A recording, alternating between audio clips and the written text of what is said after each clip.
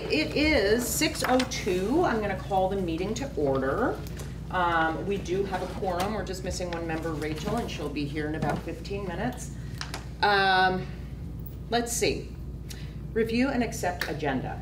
I myself have a document to add to the packet um, uh, for the first agenda item. It is um, some draft notes that the ends committee has been working on, which I failed to send out prior to the meeting. So when we're ready for that agenda item, if you want to each take one um, and glance at it when you can. I know this isn't optimal. Thank you. Yeah, keep one for myself.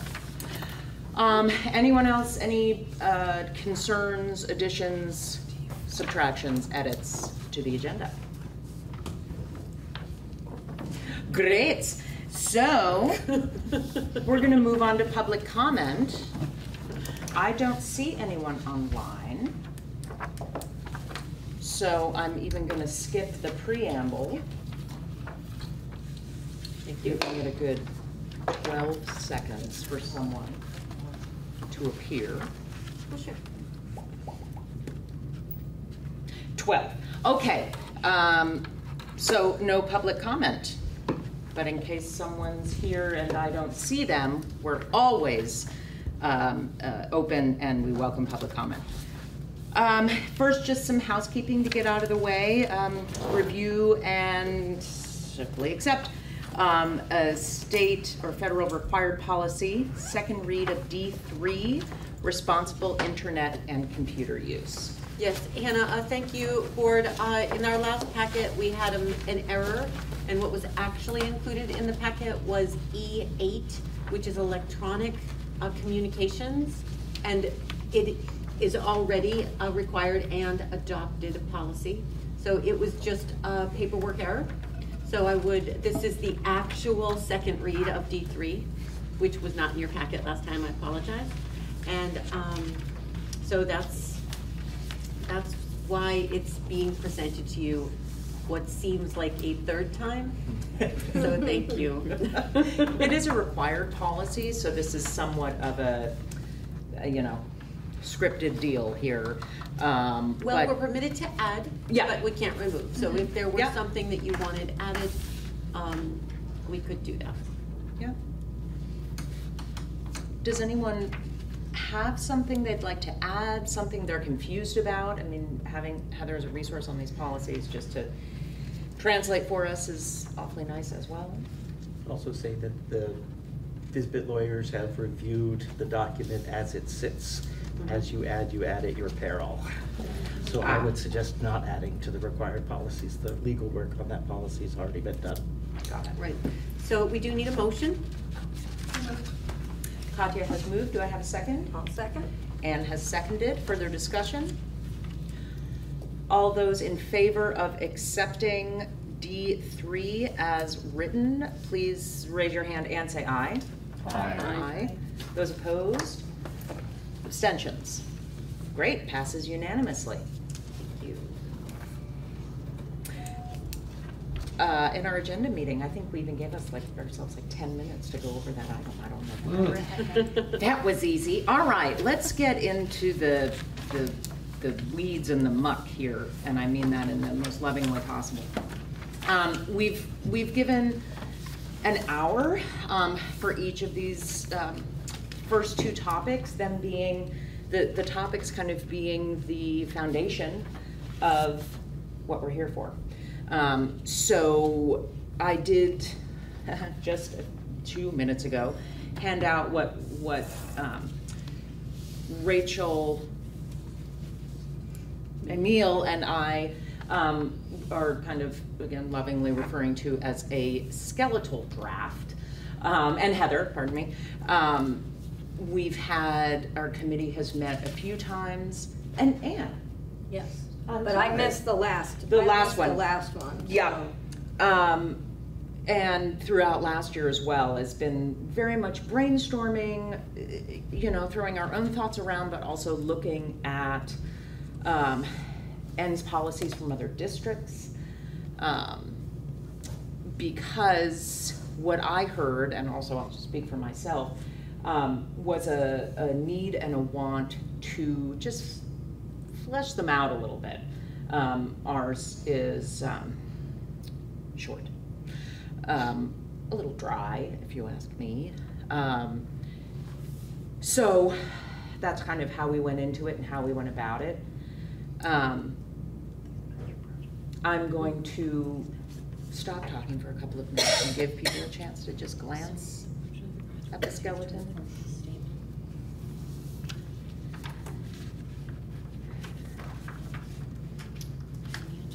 Um,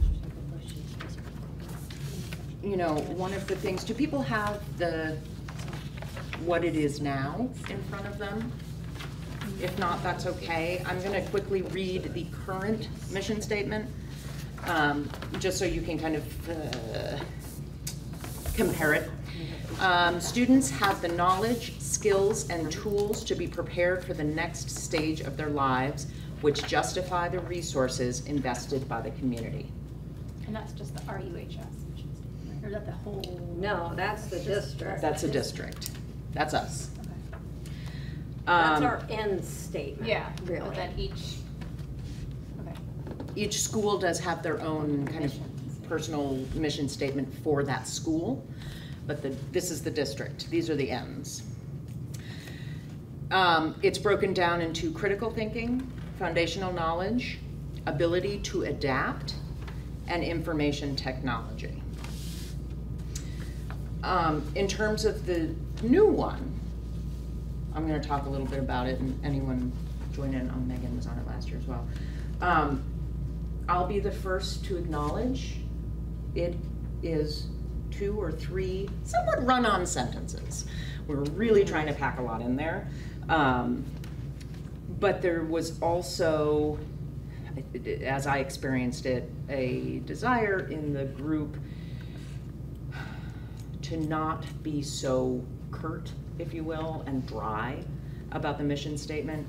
Um, put more meat into it, a little more feeling, a little more, more humanity. Um, in terms of the breakdown, there are five rather than four. We were really interested in making a distinction between academics and individual foundation, as a person, as a citizen, as a thinker.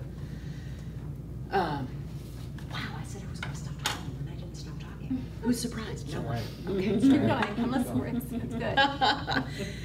Um, but what I don't wanna do is prescribe the conversation because I was on the ends committee and, you know, have, have a hand in the mixer here. Um, but I do mean it as a, a jumping off point for the discussion because the committee did kind of start this work. Um, do you wanna talk a little bit about your experience, short experience in the committee? I. If not, that's okay. I mean, I can. I think what we, trying to think about a purely academic focus for someone who is really then starting adulthood and really trying to broaden that a little bit more, I think is what he was trying to say. And that's sort of this, the two meetings that I went to, wh- what our focus was, is how do we, how do you set somebody up really to be a lifelong learner and engaged in society? And that is as a goal of our educational system. And I think one of the tricky things in naming these things as goals is thinking about, we will be asking for interpretations of them, and we want them to be interpreted so that we get the information that we're looking for, right? So we can't just think about, well, this is what we want. We have to make sure that, thank you, um, that it is something that can be measured. Maybe not by numbers, um, but measured and quantified. Um, which is a tricky thing when you get away from, when you're thinking of other things than academics. You know, how do we measure, what's an example? Right, I, I think we need to be careful about, about getting caught up in the measurement part, because once we create these ends policies that, that direct the administration for these outcomes, these are the outcomes we want, then they're gonna use their professional expertise to say, okay, given the way education works and the data that we have and um, sort of best practices and best outcomes or the way that they can measure what we're looking for, they're gonna, they're gonna, he, they're gonna create an interpretation for us with data and say, this is, this is what, this is how I'm reading this, this is what this means to us, and this is the evidence that I'm gonna give you for that. And then we can, then we are gonna say, is that a reasonable interpretation? And does the evidence that he's providing seem to, to make sense? And is there a good rationale for why that's the best measurement or the best, could be, you know, best outcome data that they have to, to say, yes, we're meeting that, or we're close to meeting that? Right, I guess, and point well taken. I guess I want to edit what I said before, which is we shouldn't be thinking about the measurement, how it might be measured, because that's not our job, but really thinking about what we mean. Because it will be interpreted, and if we're not clear about what we mean, um, or what we, um, not that we should have our own interpretation, but I just want to be really, personal integrity. A lot of interpretations for what that might mean. Right. Um, so I think in this group, talking about what, why that would even be on this list is important before it goes to someone else to figure out how they're gonna measure that. So I'm gonna ask some questions here for for clarification on kind of what, what we're hoping to get out of this tonight as a group. Because I feel like we've been off, we've been given two different things here. We've got the mission statement, which is one piece, Yes. and then we have these ends items, which is another piece. So, just the way I think about breaking this down, um, are we looking at these as two kind of like the separate entities in here? And then how they correlate to each other? And then, I guess, what's the ask of, of us as a group tonight in this? Like, what is our, what is our, what's the end goal that you have tonight coming out of, what's the work you want us to do here? Well, that's a great question, and one I also had when I um, received the information that this was gonna be on the agenda tonight, because there is an ends committee. Yeah. Right? So I have the same question, Right. I suppose. I will, just on the first thing that you said, the committee as well treated these completely separately. The mission statement, um, that came out of last, be- before March, before Emil and Ann joined. Um, and it was several meetings, Heather, as I recall, Yeah. um, talking about the mission statement and looking at different ones to come up with it. So we very much, um, worked on them separately. Because I feel like, I mean, I've already written down a bunch of stuff and questions that came out of reading the mission statement. Mhm. And I don't know if that's a place for us to start as a group, like looking at that. Um, Yeah, I just, I'm gonna go ahead and say yes. Okay. So here's my first question. Great. Um, and I feel like this was something, um, that Michael, you brought up when you came to, to see us. Yeah. Is that, that there seems to be different mission statements in, in our district, in each of the schools. Um, and I feel like that's something that we should look at as a board of like, do we help, is this the mission statement of the district that the board kind of sets?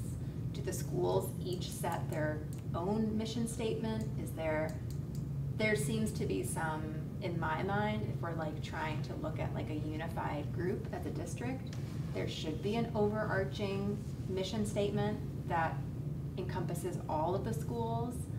Um, and it, it shouldn't be like, you know, this school has their mission statement here and this one has it, cause that's, that's just fracturing things further. Um, but I don't know if, if this is what it is. Like, if this is what we're writing here, what we're trying to write, like, is that the mission statement of the district? Should that come from the board? Should that come from input from the schools, which I kind of feel like the schools should have some. Well, input? right, which is why we based it on, Yeah. it, it was, this is one of the things. Um, I, I would even say the primary thing that we used as a jumping off point. So Sorry this would you. be the district's mission statement, that Yes. schools would adhere to. But schools would kind of like, not adhere to, but you know what I'm saying, that, that would represent all the schools.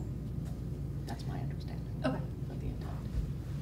Or an ends So, statement. yeah, so can I, just for a quick second, so I, I will be the first to say that I am a newbie to policy governance, but I've been reading.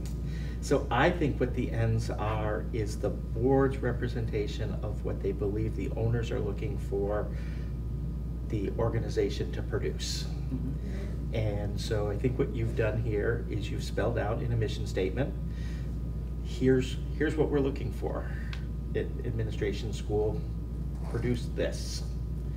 And by the way, your subsections, be sure to include all of these pieces within this. That's what, that's what we're, you can include more if you think there's more that accomplishes the mission, but at a minimum, you've got to include each of these, report out on each of these pieces. And so what you're talking about is what your belief is that your owners are asking for and wanting. That's your representation as a board of that. And remember, that's, that was the impetus behind doing the portrait of the graduate. Remember, we had Jackie Wilson from VSBA worked with us a couple of years ago now. And she said, one of the, one of the goals you should, you should work and create a portrait of a graduate because it'll allow you to revisit your ends. Because we hadn't revisited our ends since they were first established. So we went through that ends, or that portrait of a graduate process. But then we get the portrait of graduate, and now our job is to figure out. I mean, I, I, I was finding it kind of interesting looking at some of these other districts, because some of them, you could clearly see, they just sort of took their portrait of the graduate, they just made it into their end statement. But- And ours, Well, all seven of these are in the mission. yeah, and, Impressive. and It took some work. Yes, it did. yeah, yeah. Um, and I mean, we could keep, I mean, this, because, and then remember, the other impetus was when we were working with Lane, he felt like we weren't being detailed enough to tell him what we wanted for the ends. So he, that was the other thing. He was like, I need more detail. Now, Michael, I don't know if this, when you see this, you go, oh my God, I need to do an ends report on this. That's gonna take me hours and hours and hours. Because remember, what we're trying to do is we're trying to pick outcomes that are significant enough to move the district along, but we don't wanna tie them down with just, you know, report writing and data collecting so that the actual work of, of getting those outcomes doesn't, isn't able, you know, he's spending all this time trying to figure out how to do all of these little Well, well, but that's, I don't know. I- that's what we want, isn't it? That's the work. Uh, To work with the administration, figure out how they're gonna get this done, track it, yeah, uh, report on it, and show the result. yeah. That's, And, and this is vetted, I mean, we brought in community members, we brought in students, we brought in staff. Yep. And We, pres- we haven't yet presented it back out to the community, but I think that can be done when we say, hey, we've revisited our ends, here they are. This is, you know, sort of where we're at. And uh, typically, the next step in this is to create a strategic plan. And again, with community input, like a really, you know, well-represented cohort with staff members, board members, community members, students, saying, how might we do this? And let's actually put a plan in place to do this, so we know what we're measuring. That's the, that flushes this out even more. So you're saying to create effective communicators, we'll have senior project, right? We'll have eighth grade project, we'll have a fifth grade project, and this is what they'll look like, and here's the rubrics. So that it, there's a whole nother layer that could be done on this. Right, but that's not the board, the No, but board's they- work, that will be your work, it might involve us as. Didn't we do that with Winston though? What did we do with Winston? Wasn't that strategic plan? Yeah, but it was a Yeah, long but- time ago, you're supposed to do them every five years. That was That within the was last within three five years years. at least. Oh, I don't Yeah. have a copy of it. Yeah, that was definitely. Well, wasn't yeah, it? that wasn't the greatest process.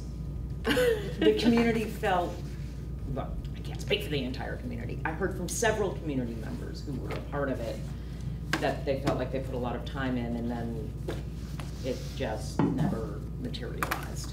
Mm. Well, we got like a really long thing out of that.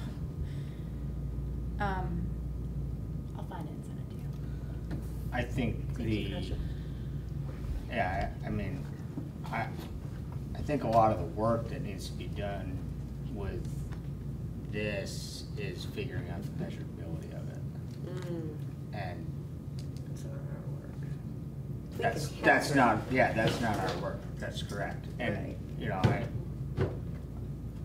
I don't think, from where I stand, I don't think the administration is afraid of doing that work. I think they're leaning in on that. I also think, sort of with my under, also new to policy governance as a board st- structure, um, I think these are not our current ends though, so we would have to adopt these as our ends in some, in some way. Um, because right now, our ends don't necessarily align with the portrait of a graduate. So, yes, this is the work for the administration to do, but my understanding is the board's work to us, either pick these as our ends. Right. Change, change our ends to these, or change our ends to include these. Yeah. I, I'm hearing that, because on an evaluation process, we need to have a clear, we need to give a clear, uh, you know, expectation for what the evaluation will be, not, but not implement our academic, we don't have academic expertise in achieving these, so, um, that's kind of where the gray area is. I think it's kind of shared work, but. I wonder if, um, going back to something Katya brought up, um, about why this is a topic tonight. Um, if someone wanted to speak on maybe what they were hoping to, to get out of having it as a topic at our retreat. Um, when, when there is a committee, do we want to disband the committee? As a member of the committee, if, if, if it's time for it to be board work, Mm. you know, I, I, I won't feel broken up with if, um, we decide that the committee work is done, because we kind of got into the weeds and came up with something. Um, if it's time to disband and this is, you know, the new ends committee, the board is now taking it on. I'm just wondering about the impetus for, for wanting it here tonight. But I, the, the reason in the last meeting, the, the mission statement, we were supposed to be looking at the mission statement, but the mission statement wasn't there. So then we moved it to this meeting, to look at the mission statement. You mean that was on the agenda?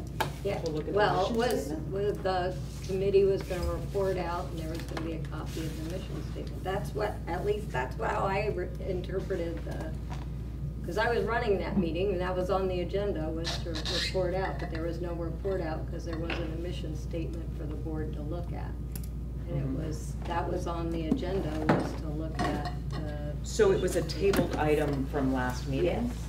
Yes. So it was a committee report out And then, meeting. and then I brought up, we could, we could look at the mission statement during our retreat, because that's a time when we have time to kind of flesh out and think about what we want to have for a mission statement, and we had one, so it's a time for everybody to weigh in on the mission statement. So that's, so I put it on there.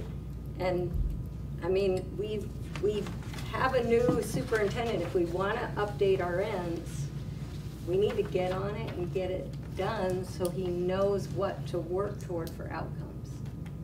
Or, you know, or, because right now, the, the, if, probably as you're going in and you're looking at things, things are lined up for the ends and the interpretation from the previous superintendent. What I spent the time, a little bit this week looking at, was knowing that this was the meeting, looking Yeah. at the interpretations and the reports from each of the areas that, uh, that Lane did. And to say, Right. okay, this is telling me where we are towards these ends and goals that, that you were looking for. And what do we, what do we need to do with it? Um, You know, I think that, I think that you're pretty, take is, you're pretty clear on your portrait of a graduate. You've, you, looks like you've adopted that and that you're moving forward and that that's a piece that you're wanting, that the community wants and is, is behind to the extent that they know it exists and whatnot. Um, It, it was great. I was at best with the cabinet and I took a shot at, can you even tell me what the portrait of a graduate is? And between the cabinet, every single area got named. So that was really great. I'm not sure any one person could name all of the areas, but together as a cabinet, they were moving in that direction, which I think is great because the portrait of the graduate work isn't just a high school thing. It starts pre-K, right? And away it goes because everything's building to, to get there. So uh, it was the first thing, that's what I was whispering to Heather about when we were looking at the, at the document you provided. Because Heather is much more familiar with the portrait of a graduate. My question was, does it hit every area that's in the portrait of the graduate? Is anything missing? There's not. She says it's all hitting. Uh, There's a section here where I think there's three things that are lumped together in the portrait of the graduate work uh, split out specifically. I think that means that as a board, if you leave it split out, you're saying, we want you to be even more specific about these areas. Right? So I think that what you're doing is, the mission statement that you're, that you're using here is a really long mission statement. I like it much better as an end statement, not as a mission statement, but if this ends up being the mission, uh, you know, I think I may have done for you as a board, I can remember back to when I was a principal, uh, which was now, I finished being a principal ten years ago, uh, and I did that for six years. So we developed the mission in the first year, and it was to ensure that all students were informed, literate, critical thinkers who demonstrate responsible social and civic behaviors. And then, most recently, in the, in the islands, uh, we ensured that all members of the GISU learning community are curious, creative, courageous, and capable of pursuing their aspirations in a diverse and ever-changing world. So I can roll something from 16 years ago off in this meeting. I could, for multiple years, go into the building and say, this is what we're in business for. This is, this is what our mission is. Um, And then we had pieces, much like the, the areas that you're looking at underneath it, and then spelled out, and it's probably what my work is here, and to work with the principals to how are you going to spell these areas out with me? And then come back to the board and say, hey, this is how we, this is how we made progress in those, in those areas. So, um, right now, the mission statement is a really, it seems like a solid end statement to me. Uh, I'm not sure that it rolls right off the tongue, but maybe with a little bit of work, I can get there and roll it off the tongue within a month. There were two other iterations of it, right? We tried some shorter ones Yeah. and um, ultimately put this one out as in the skeletal draft. um, Because it had everything in there that we wanted in there, Yeah. right? I'm sure there, like I said, it's, it's a run-on sentence. I think that's a really important thing in your, in your ends. You want everything absolutely there. Mhm. I think, so I haven't exactly figured out how the ends are gonna fold in.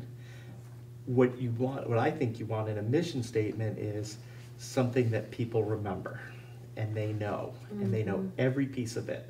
So that when you're sitting there saying, why are we doing this work? You know, how is this helping kids be curious or creative or courageous or capable? And you notice I said GISU learning community. So how did we help parents do those things? Because they're part of our learning community. How did we help teachers, support staff? Everybody was working towards that in, in that particular place. But I think the other piece that I'm really kind of keying in on is making sure that I understand who your owners are. Um, because I think that it does matter who, who the board sees as its owners in a policy governance uh, framework.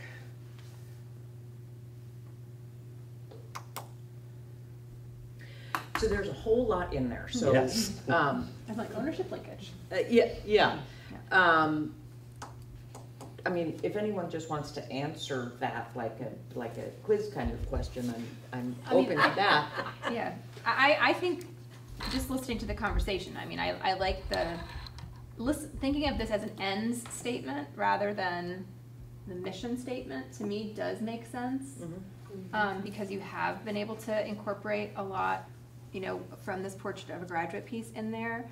And then potentially working from the board and the school level to come up with a, a concise district mission statement. I feel like that's a separate piece from this, that, that feels more, I don't know, natural, I think.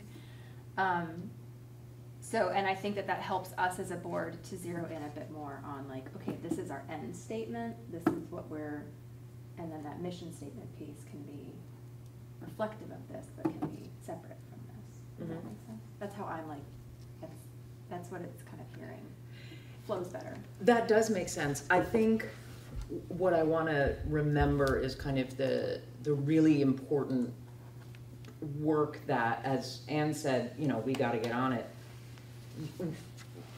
We, we have been getting on it, um, based on this. And, and what I don't want to do is something that I am always ready to do, which is get caught up in semantics. So I think I agree with you, but I'm not, I don't think that has to happen here necessarily. Although we can brainstorm, I'm not, if if someone wants to disagree with me, I'm fine with that. My concern is that Michael have, as early as possible, what he needs to base his, to guide his entire academic year. I mean, it, it sounds, it seems like you guys have been able to flush out more, this is more expansive than what we've had in the past. Yes. Yeah. Yeah.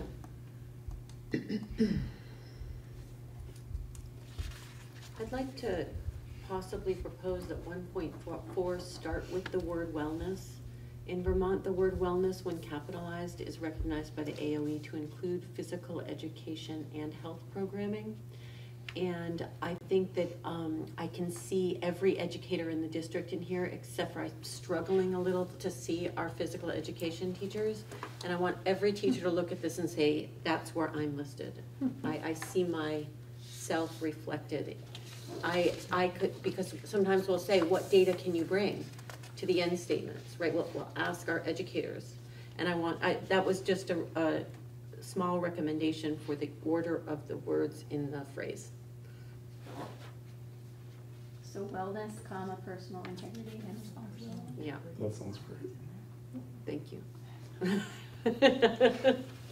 Really easy. Yeah, Ryan, you're great. I guess, I guess while we're, while we're talking about words, the Yep. only thing that like struck, that stuck out to me in, in your, I'm gonna change it, I'm gonna call it end statement. not End Yeah. statement, yeah. make Was that the end word statement. healthy. Um, Oh, is healthy not there? It is. I don't know. I kind of like. I guess my question would be how are we measuring? Like, Well- how do you measure health So in that we- I in think that the way? good news for you is you don't have to worry about that so much to start with. I have to tell you how I interpret that you want wellness or healthy measured. And then you get to take that as your jumping off point, I think, and say, we'd like you to do more with this or less with that, or you're not headed at all in the right direction. But an example might be the youth risk behavior data, right? We might make improvements in that. Mm-hmm. So our numbers of students who report vaping might go down, right? right. Yeah. But there could be, but as a board, as Michael's saying, you could ask us for something different or something more. And if I can't do it, then I need to come back to you, I think, and say, I, I, I'm gonna need this, this, and this in order to be able to do this, or, you know, I, I think that opens, I think that my interpretation probably is designed to open a conversation. Mm-hmm. It's not bad for you to say, well, you didn't really capture what we're looking for, Mike, here. We were really thinking more along this line, and it actually gives you all a chance to figure out what makes, what makes sense hmm. for, again, I'm gonna come back to your owners, for your owners, and what mm-hmm. you're, what you're looking at there. How do you represent them? There are other things in here that are maybe even more ambiguous than the term healthy, like culture of care. You know, mm. Are we hoping our students show that they care? Are they empathetic people? Are they not apathetic people? You know, mm-hmm. things like that. What do we What do we want from a culture of care? What is that? Um, so that that could be something that we could tighten up maybe. Like I th- I think I know what a culture of care is, but I'm bringing all my biases and all my experiences to what that means.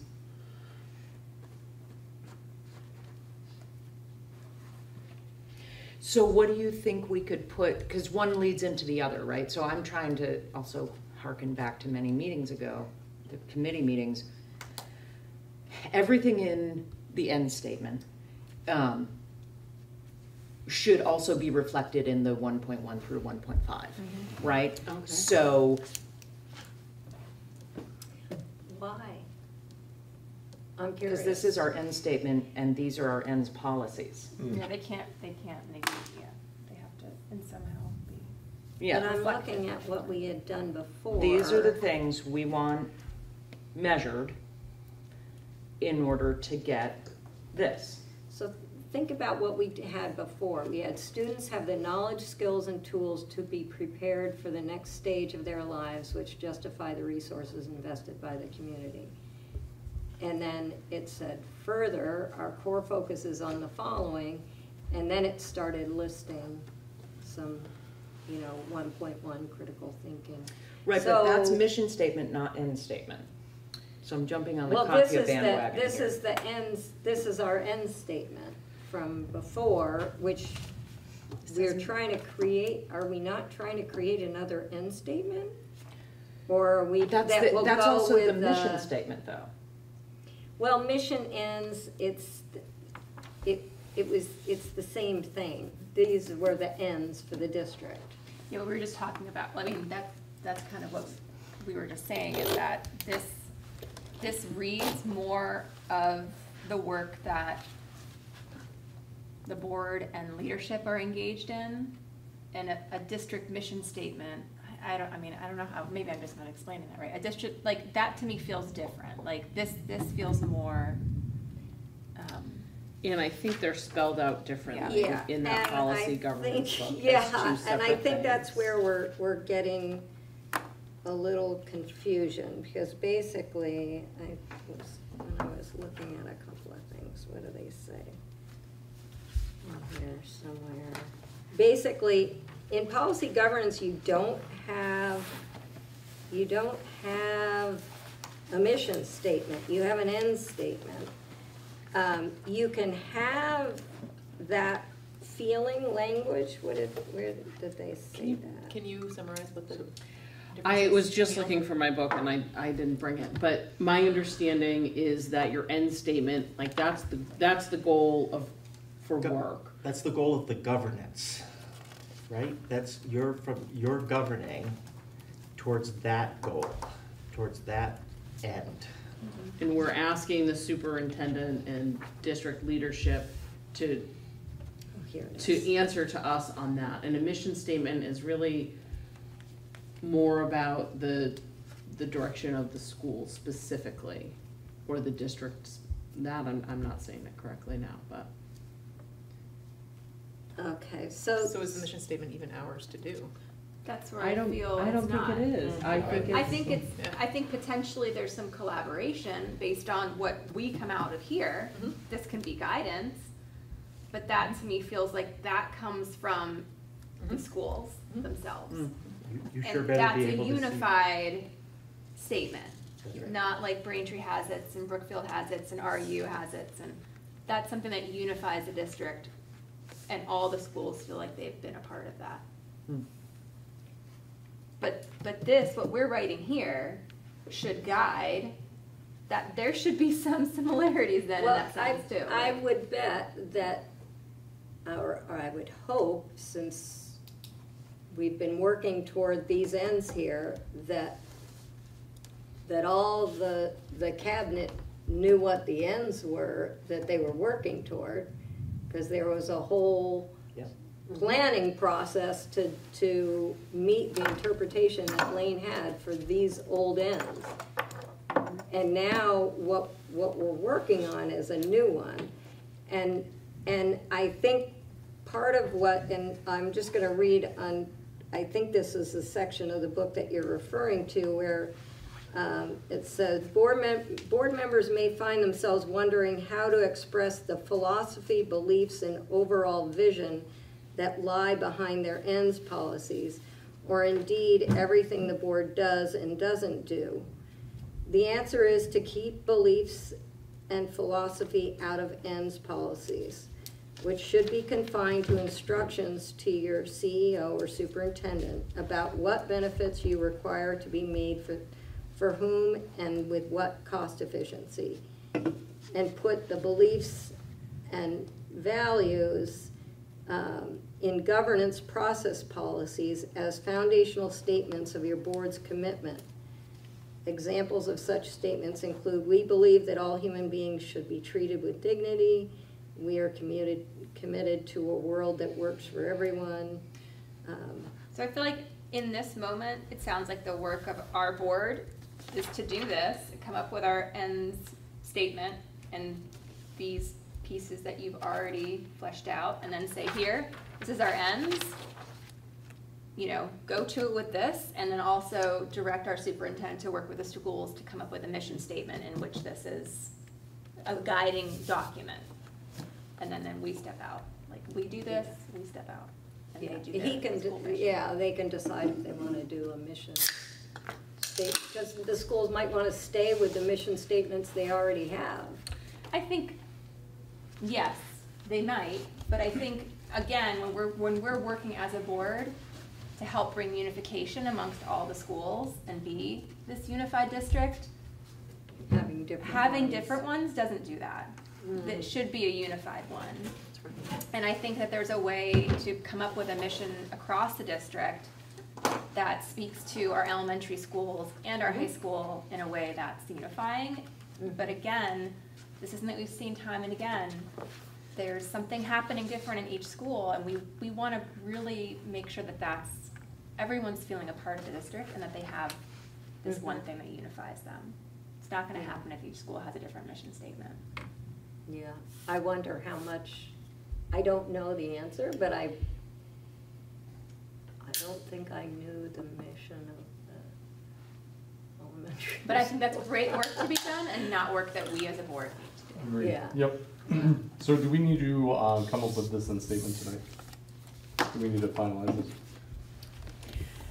Um, there, I, I mean, there's no requirement, no, Well, that'd but be I nice. think, well, I think there have been some things floated around, you know, edits and flip-flops and capitalizations and things like that, and I think that, um, either one person from the committee or the committee as a whole can make those edits, and then we actually vote it in, in August, which I, Mhm. I think would be nice timing, actually, because. Oh, do we have to have two readings? And this isn't the first? No, because it's not the final document, right? Or it's not the document that we're presenting to the board as the, or I guess maybe it is. Sure, it's not on the agenda though, in that way. Say that again? I don't think it was intended to be a The final version. final version. So then, still great timing though, a first reading in August, um, in, it- I know this is a public meeting, but, you know, gearing up and people are actually thinking about school and hopefully attending and, um, so a first read there and then a maybe second read and vote, well, not maybe second read, yes, a second read and maybe a vote in, um, September. Just uh, FYI, Mhm. we compel all our educators to align their professional goals to the ends, at least one of their goals. These, yeah, These shouldn't be surprising. I mean, No, these shouldn't, these these- shouldn't really alter Nope. lesson plans. I, I don't think they will, but I just wanted you to know that, so, um, maybe we put it in front of them as a draft. Oh, they see it? Oh, so Yeah, do this our is- first is- read this is in public August and then information. provide it Yeah, it could be as a draft. draft. Okay. Uh, It's in the Service, first, the first read will be in the packet, Mhm. which is public. Mhm. Um, Great, this is all public. So no, this is And all- then I just distributed this at the beginning of the meeting. Um, So maybe one thing we could do is just see if there, if we do wanna tie these policies to everything that's in the end statement, are there anything, is there anything that's missing here that we should, whether it be the ends committee works to fill in before the August meeting, or we work on it now, doesn't matter to me, but, um, are there things missing here that we can't tie to these one point one through five? In the end statement. Correct.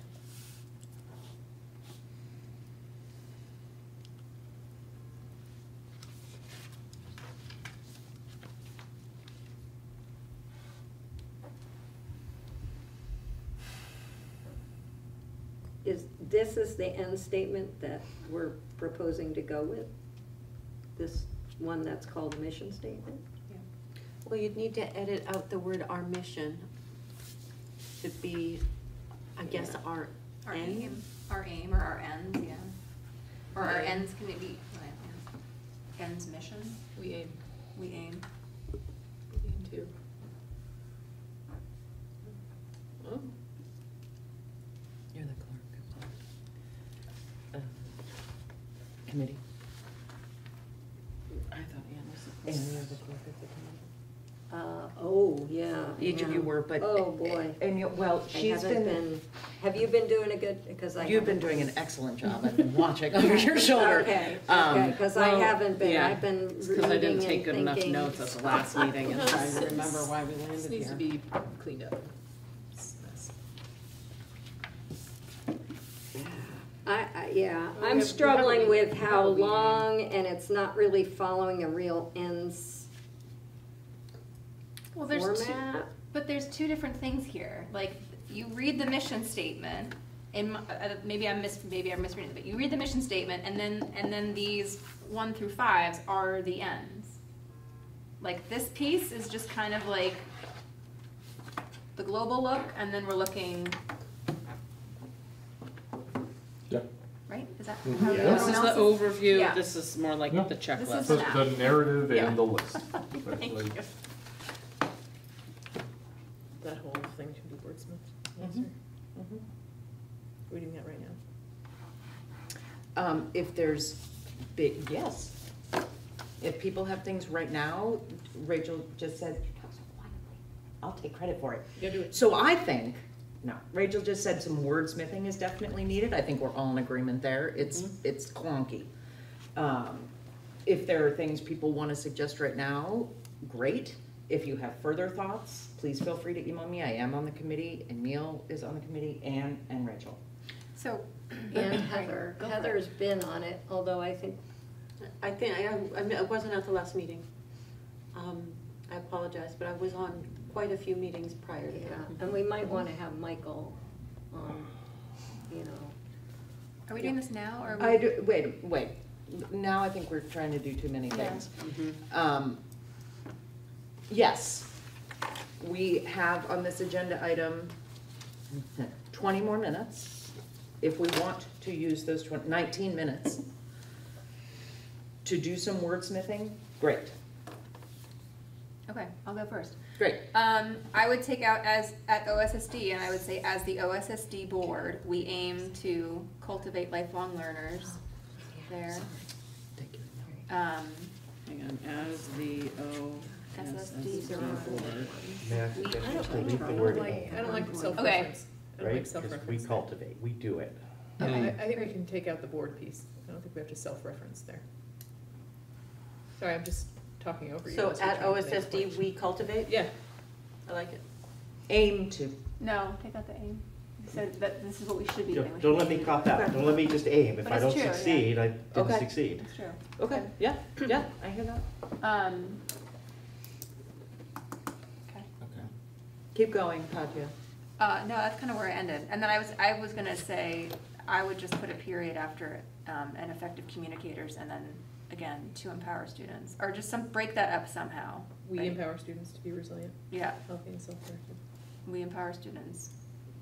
I'm still, the, he- the Students are empowered word, to be, I'm not liking, Mm, but that's you just go. me. Say that again, Michael? so, Yeah, so you're yeah. gonna break it here, you're gonna say, uh, we cultivate lifelong learners who are creative problem solvers, critical thinkers, and effective communicators, period. And then students Mhm. are empowered Mhm. to be resilient, healthy, and self-directed individuals who foster a culture of care. I think we should leave that part out. Cause it doesn't fit. It doesn't fit in that lot, like, that doesn't, doesn't, doesn't match Yeah. right there. So self-directed individuals, period. We foster a culture of care. Somewhere you should get in the community member. And this culture of care piece, we, um, is this where we're kind of bringing in the, uh, Caring. caring, connected Yep. community member I think it was trying to sum that up, yeah. bullet? Cause I was just switching, I type faster when I write. one thing that I felt was maybe missing from this was that element of the environment or nature, especially Yeah. since I know at least Brookfield has such a high, Mhm. strong focus on being at least a preschool, a nature-based preschool. So I'm not sure if that's something we want to include some language that's explicitly about nurturing the environment or stewardship or something along those lines. Do you Right. feel like one point five doesn't, Oh, I know. I feel like um, community engagement, and global citizenship. Yeah, maybe. Uh, I meant more in the How is that being reflected in that, yeah? in the end statement, got yeah it. in the end statement. You know, one point one through one point five. Yeah, but just do we want to include explicit language about stewarding the environment or something about nature along those lines? And while I'm not opposed to it, Mm-hmm. stewarding the environment, I think, um, m- m- my thought about wordsmithing this is taking things out and not adding. Mm-hmm. And I, well, yeah, Well, I you know, to talk maybe right away is then it pick. is it um, something that could replace that element of culture of care that is so nebulous and abstract? Right. Or do you get the culture, so I, I, I wonder if you go with a period after self-directed individuals, and then your next sentence starts, we inspire a generation of citizens who embrace challenges, a culture of care, innovation, and positively impact our society. great. And then you get the stewardship specifically down in the, in the more directed, more specific area that you want to see something there, perhaps. so Ryan, with the phrase culture of care, we were trying to capture everything in this caring, connected community member, which includes sustainability of the environment. Yeah. And so it took us a long time to come up with two words to cover all that. Um, Yeah, but no, you get it. Uh, that's that's that's But- yeah. This is a good proposal, but if you have a- another like two words that you think encapsulates all that, Culture now's the time. Mm-hmm. And then you can bring it home with, we invest the entrusted community resources to maximize each individual's potential. Is that on there? Yes, Yeah. excellent. You, you're catching this, Amil? Mm-hmm. I Thank you. think the, the And when I see the a next generation version of of it, right, I citizens. bet I can build stewardship into I it. think I She missed something here. The culture of cares. Well, I have it over here in brackets, cause we're, Michael, can you, again, what you were thinking with we inspire a generation? Yep, we inspire innovations or. a generation of citizens who embrace challenges, comma, a culture of No, care. no, I think challenges and innovations go together, and the comma comes after innovations.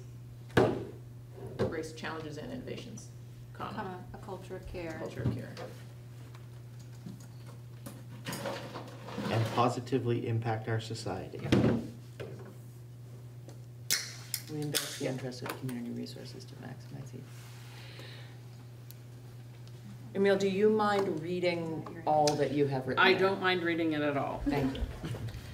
Um, at OSSD, we cultivate lifelong learners who are creative problem solvers, critical thinkers, and effective communicators. Students are empowered to be resilient, healthy, and self-directed. We inspire a generation of citizens who embrace challenges and innovations, a culture of care, and positively impact our society.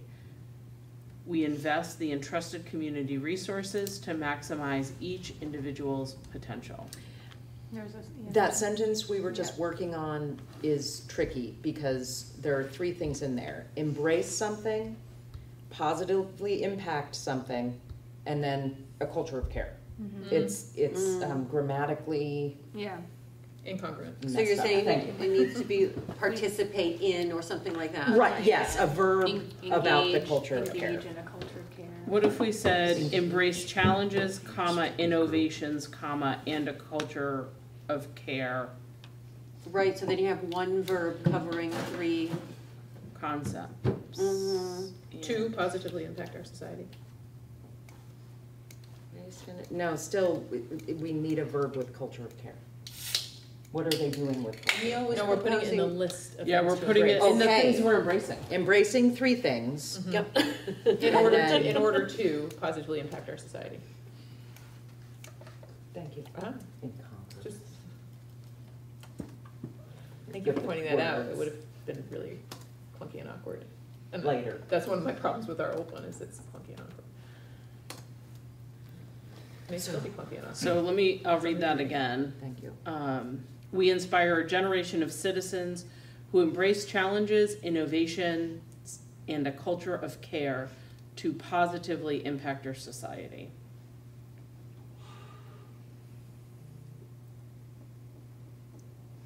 It sounds Did like we a lose throwaway anything? sentence. Yeah, did we lose It ju- anything We did, we lost the Challenges and intent of innovation, all of it. Not the whole thing, that sentence.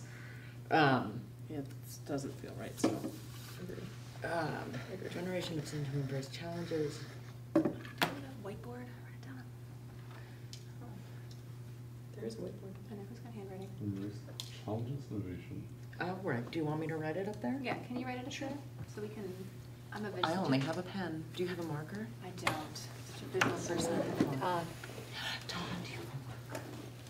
Oh, There might be one in the basket. Oh, I see, that's it. You're right. No. Okay, Tom, oh, did you see that?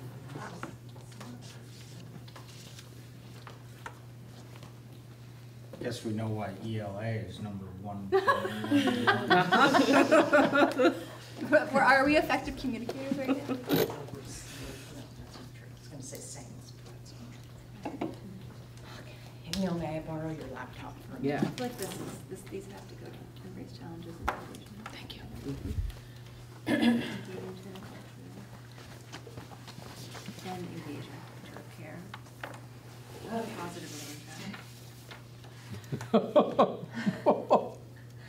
It's very wobbly.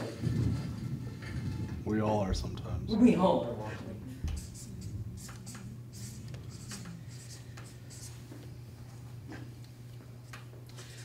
I think the reason it doesn't work is the re, the, that foster a culture of care really goes with healthy, resilient, Mm. healthy, and self-directed. I see that, yeah. like that there's a synergy between those two phrases. Mm-hmm. Yep. Right, these are, No, though, does the culture of care positively impact our society? I think that Heather and I just spent a whole week down in Killington at the Best Conference oh, where Yeah. that, that was, that, that is the, a culture of care to, building a culture of care to positively impact Yeah. Yeah, if we the said like, culture in the buildings. we aim to inspire a generation of citizens who embrace challenges and innovation and engage in a culture of care to positively impact our society. That works. It has a verb. And engage, yeah. Yes.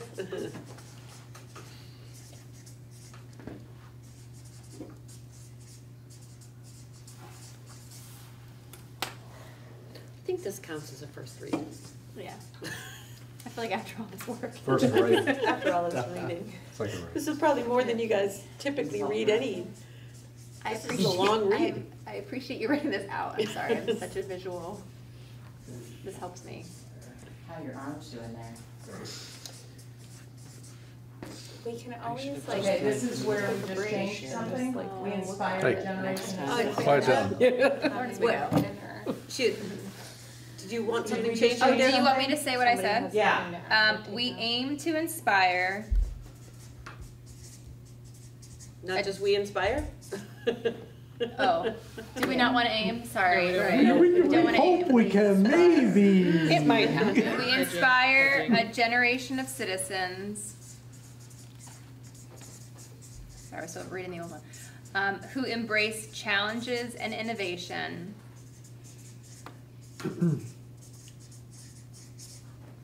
Who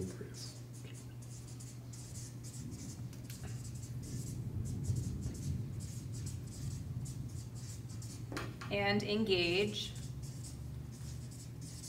in a culture of care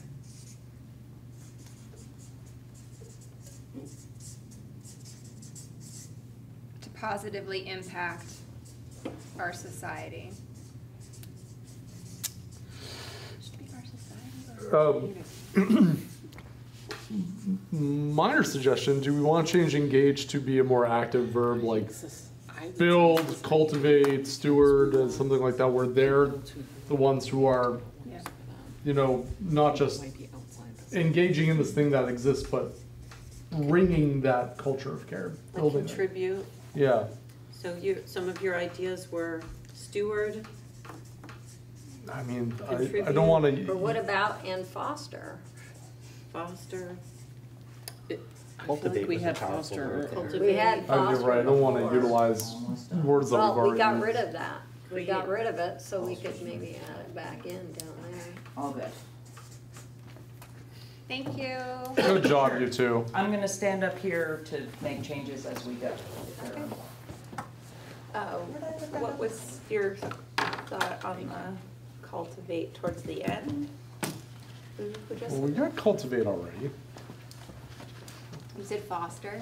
What about foster? A cult, and foster a culture of. Cultivate might not be the best word for the first sentence, because think of your, the, the many, you know, people who might be an audience. Like, I don't know, I feel like we should have, you, the end statement, the, the first action verb should be, it's on learners, right? And I Somewhere tend to use foster type of cultivate thing. more for like something, I'm growing. Right, like an inanimate thing, right? Not Uh, a yes. sentient thing. Yes, right, um, so, uh, Would- maybe we could move cultivate to the, the care and put a different verb at the beginning. Right. If you take cul, if you swap out engage with cultivate, you also get a little bit of alliteration there. That sounds nice. And nice. cultivate a culture of care. Yeah. And so you're saying engage lifelong learners? No, yeah, no, no, What no. if Foster? we create, Nurture? Oh, that's a nice one. That's how you really feel. Okay, so engage goes, and that's cultivate. Yeah, nurture? Nurture life. Or empower, Oh, yeah. Oh, yeah. Oh, Well, we I- I have don't know if you empowered already- here. I- Yeah, but, Yeah, we don't wanna use that too. yeah, we don't wanna use it too much. What about encourage? Mm, I want something more aggressive. Um, so can we, the students are empowered, that's a, that's a good one there. Um, yeah. Who's got a, yeah. Can someone Who's got the thesaurus sys- I was pull up? say, who's got the system? Yeah, I'm, I'm, I'm looking up synonyms for nurture. We- 'Cause Try and replace- replace Or empower, look up synonyms for empower. What did you say, Rachel? We're looking for a replacement for cultivate. Yeah. uh, unfortunately, cultivate has a lot of agricultural synonyms. Okay. Use that word. Man, the thing with empower, it has like a lot of kind of permissive things, like we entitle, we permit. Mm. That's not right. Okay, we, I'm gonna call it five minutes we have. Um, so, once we find this word, I'm gonna take a picture of this, um, and. Inspire, Inspire. grow, Grow. produce, We grow like, I'm really, I really like nurture there. I do too. I mean, if you wanted to be I- less, I don't know, But we- touchy we- feely about it, could be we- raise. That still goes That's- with the, it's a little too soft for me. Like, we make them, right? too We woo? produce them. It's a little woo-woo for Oh, me. man, Yeah, alright. It sounds very mothering. What about encourage, well, encourage What's wrong is with maybe a produce? little. Produce. We really just. Wait, Well, really went to the other end of the spectrum. Wow, we went from. wood We to- fertilize. I went from, Manufacturer. I went from beginning the growth to storage. How about just we birth? That's aggressive. Our Changing my job in a big way there. Manufacturer. Reasonable interpretation. Generate. Insight, Fabric. I like that. I like how Uh, inspired. Insight. Oh, insight. Doesn't have political leanings at all. We, we, we, Coax, Create. urge, press, Create. pressure. How is that different than produce? I'm just It's reading not, it it's just, It's more just creative. feels less production-like. Develop, Feels more Develop. Develop. People develop. Ah, we Oh, that's good. like Develop. Can I write it down and see how we feel? Yeah, I don't know. Yeah, put it in the green. Yeah. or prepare. Oh, oh yeah. I got both of these off the portrait of the graduate, by the way, oh. because I'm looking for, because this was such a boil down of all the good Yeah. words. We worked so hard to boil down words, I figured there had How to do be I some. develop? Okay. Because that feels like We're working steps. with along the Yeah, way, develop. rather than just preparing and. Good point.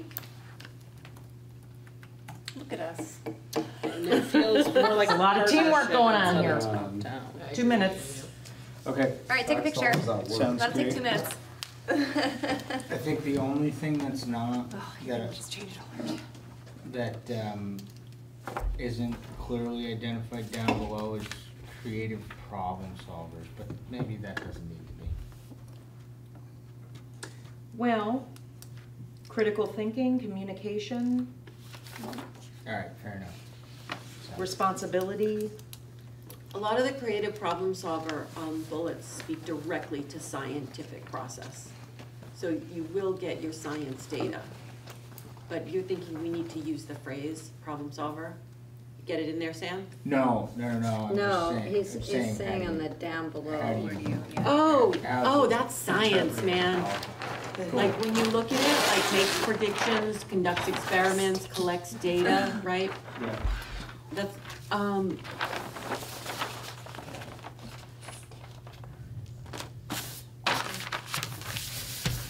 This, I hope everyone agrees, but this has been a really nice hour of work. I just want to, yes. let's give ourselves a Yeah, pat on the nothing, back. got- nothing has legs, so Um, I think we're in good shape there. So again, th- so are we considering this a first read, or this was just a working, um, I think it's working, but. we Hour, can- I think yeah. it's working, but we can produce the first read in. Yeah, I feel like For to- August. to stick to our open And so meeting the, law. and so the Great. staff can get a draft. That should be submitted, yeah. So will we have a, a, Yeah, that an felt ends really good. meeting before August to flesh out the rest of the stuff?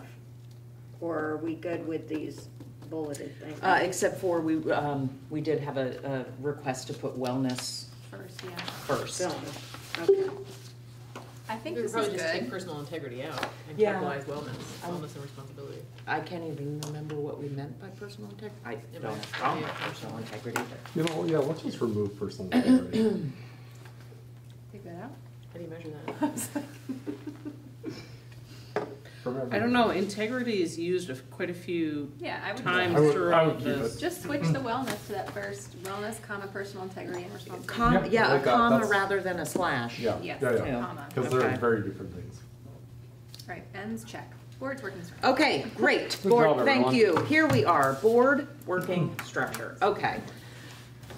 Um, in the agenda meeting, um, Michael did what he just did for us, which was, um, uh, come up with three words, and I think I gave you six words to do it, but you came up with three for this agenda item.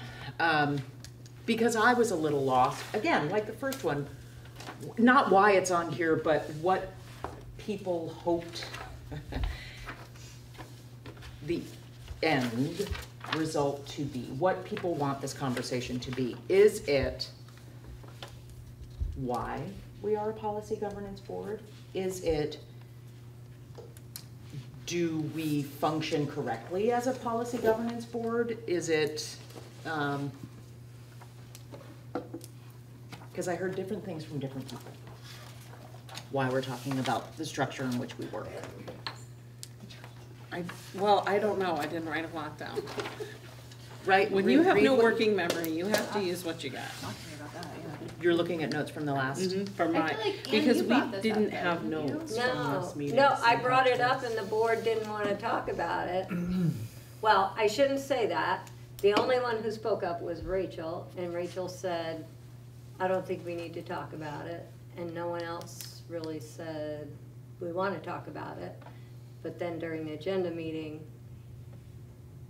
we, you know, it has been an issue that's come up several times I is, have it actually how do crossed we- off my notes. So I think what Rachel, yes, I remember this now. And Rachel said, I think that we don't, that we don't need to switch from policy governance, but that we need to figure out how to make it work for us. Yeah. I think is, is, does that sound right, Rachel? Yes, it does. I don't wanna put words in your mouth. Thank you, I- that was actually very good memory. That's how I remember it too. Yeah. You made it sound more elegant than I did. last meeting. Well, that's how I heard it, so I think that's why I, I crossed it off, because I think then it was sort of a discussion about, then do we, you know, is the discussion then, how do we make this work for us? Or is, or do we not need to discuss it, and we need to really just kind of dig our teeth into working as, you know, working with policy governance as our board practice? Mhm. Thank you. Well, it seems like getting the ends fleshed out like you have and working on that mission statement will be things that will benefit us as a board in understanding what our role is and the information that's brought back to us from the superintendent based on the ends and the EL, EL reports and all that that that comes out now. So the EL reports, right, th- this is something that I have trouble with in policy governance. I'm gonna get touchy-feely now and just talk about how I feel about policy governance. But I don't think we need to move away from it either. My biggest challenge is feeling like we come to a meeting, we read a report, it is a reasonable interpretation of the policy, there's evidence there, I can go to the district and read through the evidence if it's not in the packet. We accept it, we move on, we never talk about it again, until the next time it comes up. And it feels very, I know that policy governance means that we're, it's, it's kind of hands-off um, in terms of the, the operations, but it has felt to me too hands-off, too rubber stamp. too um, detached from what's going on. Now, is that a problem in the policy? Is that where my problem is? Is my, or my challenge, is my challenge in liking it, um, the specific reports we've been getting? Maybe I just didn't feel like I was necessarily getting what I wanted from Layne. I, I don't know. All I know is I have felt caged in and restricted by policy governance because in keeping in line with it, it keeps me feeling beyond out of the operations of things and actually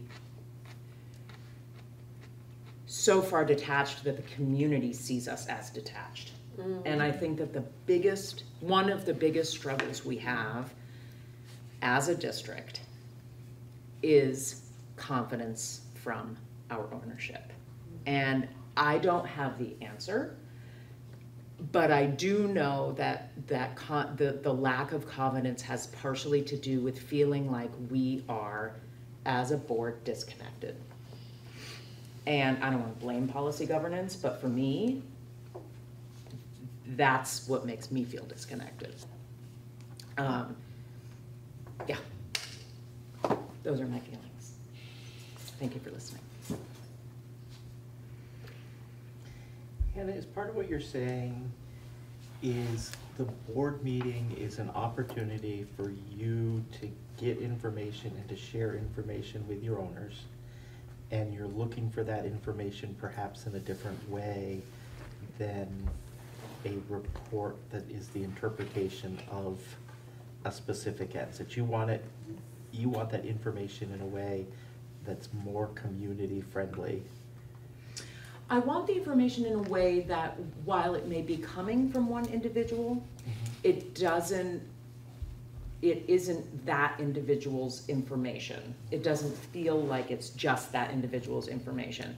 Um, Right. And I think that's also the perception of the community. Um, you know, I, I'm, I'm not, the, the board speaks as one, so I don't engage necessarily in, in, as, as, in my identity as a board member with community members about the district. Um, and I, I have no problem with that, but it feels like there's no opportunity to do that. Also with the staff, there's no opportunity to do that. It's very closed off. Um, so th- there's gotta be a way to feel like the EL reports are not um, a funnel Yeah. which is what they feel like. We are getting information. The information definitely is coming from all sorts. The funnel is big at the top, but we get it a, a pinprick, and the community sees us getting it in a pinprick, um, which can lead, and I think has, to a perception of us having a very narrow concept of what's going on. I think one of the things that Layne didn't do well was bring other people in to speak with him on topics. Hmm. Like every year when he did finance, he never brought Robin Pembroke to speak, right? Mm-hmm. And, you know, when, like, there were topics that would come up that it would have been good to bring the expert, like, and that wasn't mm-hmm. happening. And that, I think, gives a more robust feel to the information. Like, if the superintendent occasionally appoints a designee who's more of an expert on a topic to present on it. Like, I think when you guys brought the principals back into the meetings, that made a really good feeling shift. And so without moving away from the governance model, I think you could sort of widen the funnel, as it were, so it feels like more robust information. Well, and I think that those people, like you said, then also feel ownership over their area of expertise. Sure. um, And that they can contribute in a way that maybe they haven't been able to. Yeah, it goes both ways. I think the principals have really enjoyed having the opportunity.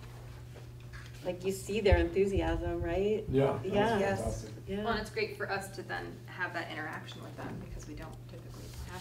Well, and I wonder if it's possible to occasionally have a teacher come in and do that. Yes. I mean, I think the, the, the, the way that the governance structure is structured, um, there's kind of a, we don't, it, it's almost hierarchical, which feels really yucky. Mm. Um, You're always presenting in front of your boss, which is, you know, I could feel that tension a little bit sometimes, I think, where you, w- we've asked someone to come in and give a report on their school, but they also want to give a report that maybe in the best interest of the administration. So, I don't know, I mean, there, there's that hierarchical tension, but I don't know that you can get, fully get rid of that. I'm not saying that will exist under Michael, but, um, yeah, there- that Ooh. is something. It would be hard to move away with that with whatever governance structure we, we have, because my understanding of the school board is it is intended to keep the superintendent accountable. Mm-hmm. And so, yes, it is hierarchical, but perhaps by design. And Right, I mean, there's always, there's always power dynamics in the room, right? If, if a staff member comes in to present, there are power dynamics in the room. The, someone's signing someone's paycheck, and to ignore that fact or pretend it doesn't exist is atrociously irresponsible.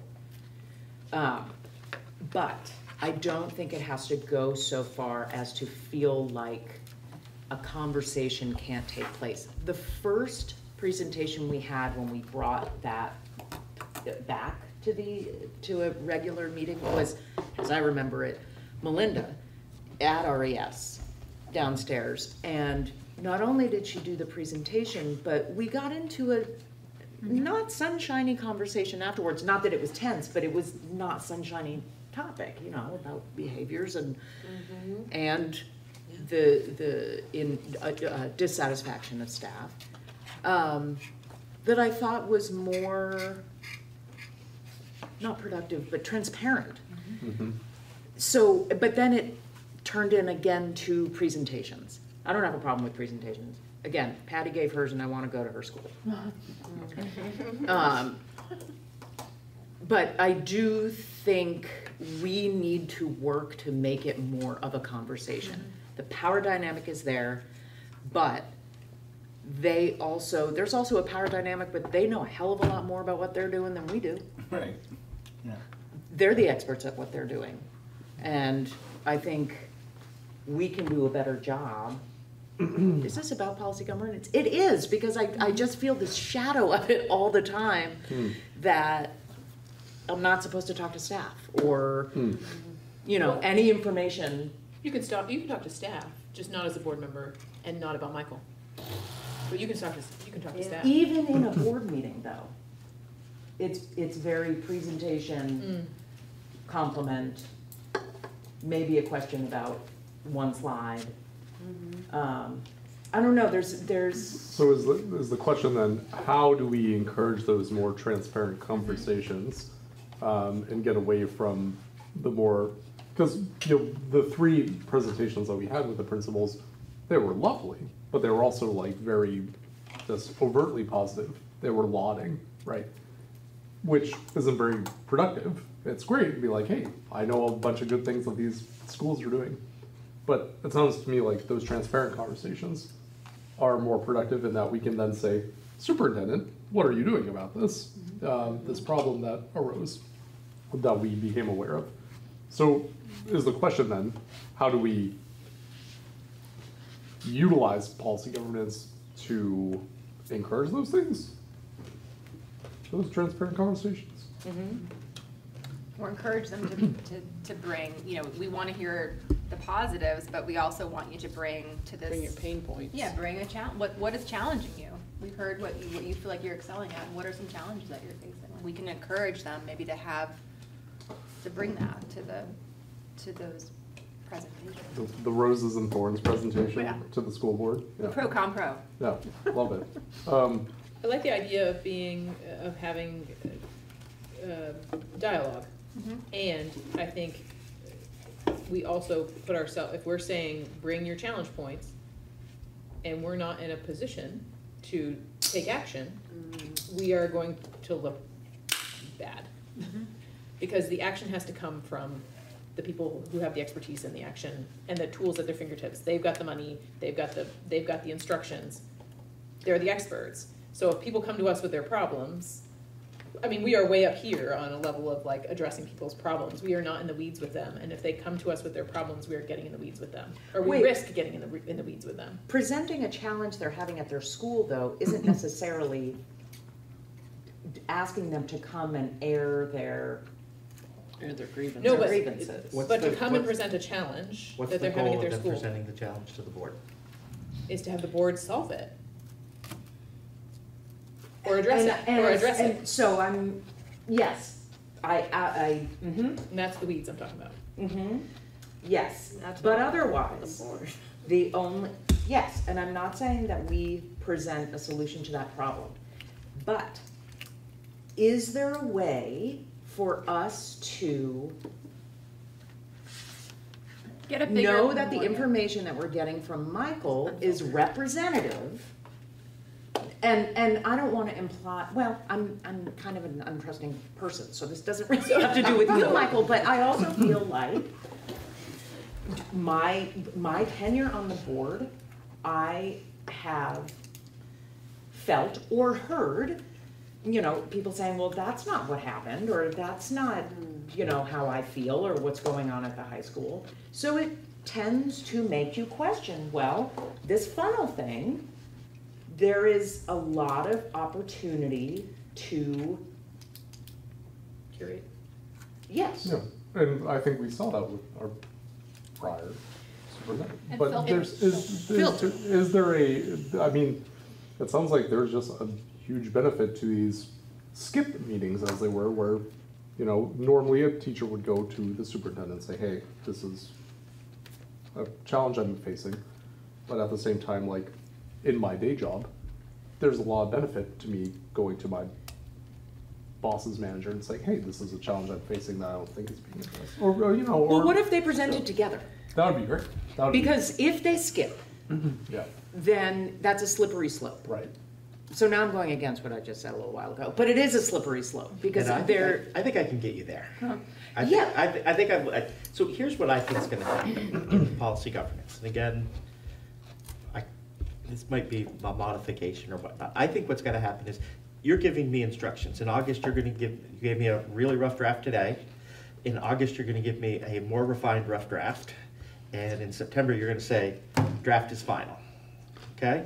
What I have to do is I have to take the rough draft and say to the administrative team, okay, folks, here we go. This is what the board is looking for us to do. Now, how are we gonna get there? What are the goals that we're gonna set so that you can translate that back? And maybe what you need, in addition to my interpretation report that comes each month, is here's our general progress towards the goals that the administrative team has set. And that report for the last two years, I've written as an administrative team who had opportunity to provide that report, and often other people from the team came and presented. We actually started with specific reports from individuals, but then we realized we were all moving towards the same goals. And so we're, we're then, the team, you're getting a team report that says, here's our, first you get from us, here's the goals that we think accomplish the ends that you've set. And we'd like some feedback about whether you think they're gonna accomplish that or not. And then the second piece of that is, on a monthly basis, that whole team puts input into that report and can be available, so we gotta get the report out and we gotta know, do you want somebody specific to come to the meeting and talk about the goals, or can we get more information about this or whatnot? I, think we could modify and play with that so that you're hearing from the whole, I think it would be cabinet in, in a district case, uh, about the progress towards, that we're making towards the goals with, that then you get the interpretation from me about how I think that's translating in the, in the actual interpretation report, little by little. But every single month, what that does is the goals tie back to the mission, so you know that we're moving towards the mission every month. We're tying the goals back, and you're getting a report from a broad group of people. And what I get out of that is the report. I can tell you, I didn't write pretty much more than two paragraphs in the last three that I did. It was the team. The, the team really has the expertise in the areas that we needed to go. It's not exactly policy governance. I think it's an add-on to policy Sounds governance. like in addition to the EL report, it would be like the cabinet report. Yeah. So- And we would vote to accept the EL report, but the cabinet report That's just would be ours. informative. Right.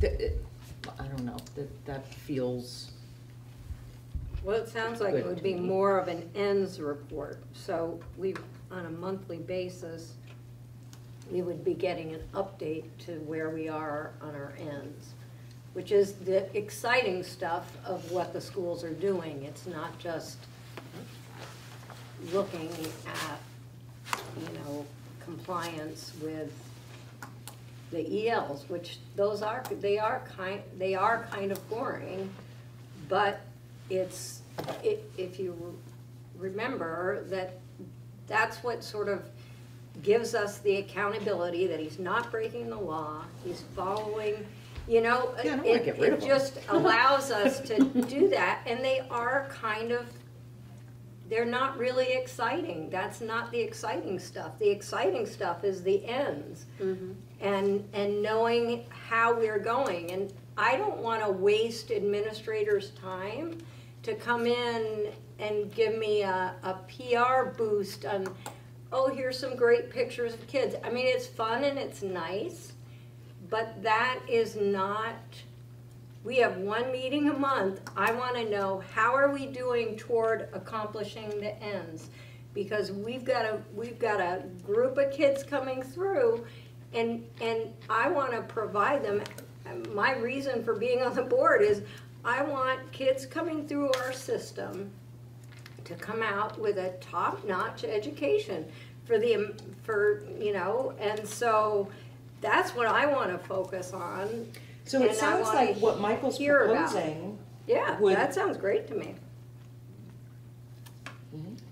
So you're, But would you wanna keep any portion of like what the principals were bringing to you? I think that is part of, part of people being proud of the work they do I and think being that should. excited about the work they do and, and then doing a good job.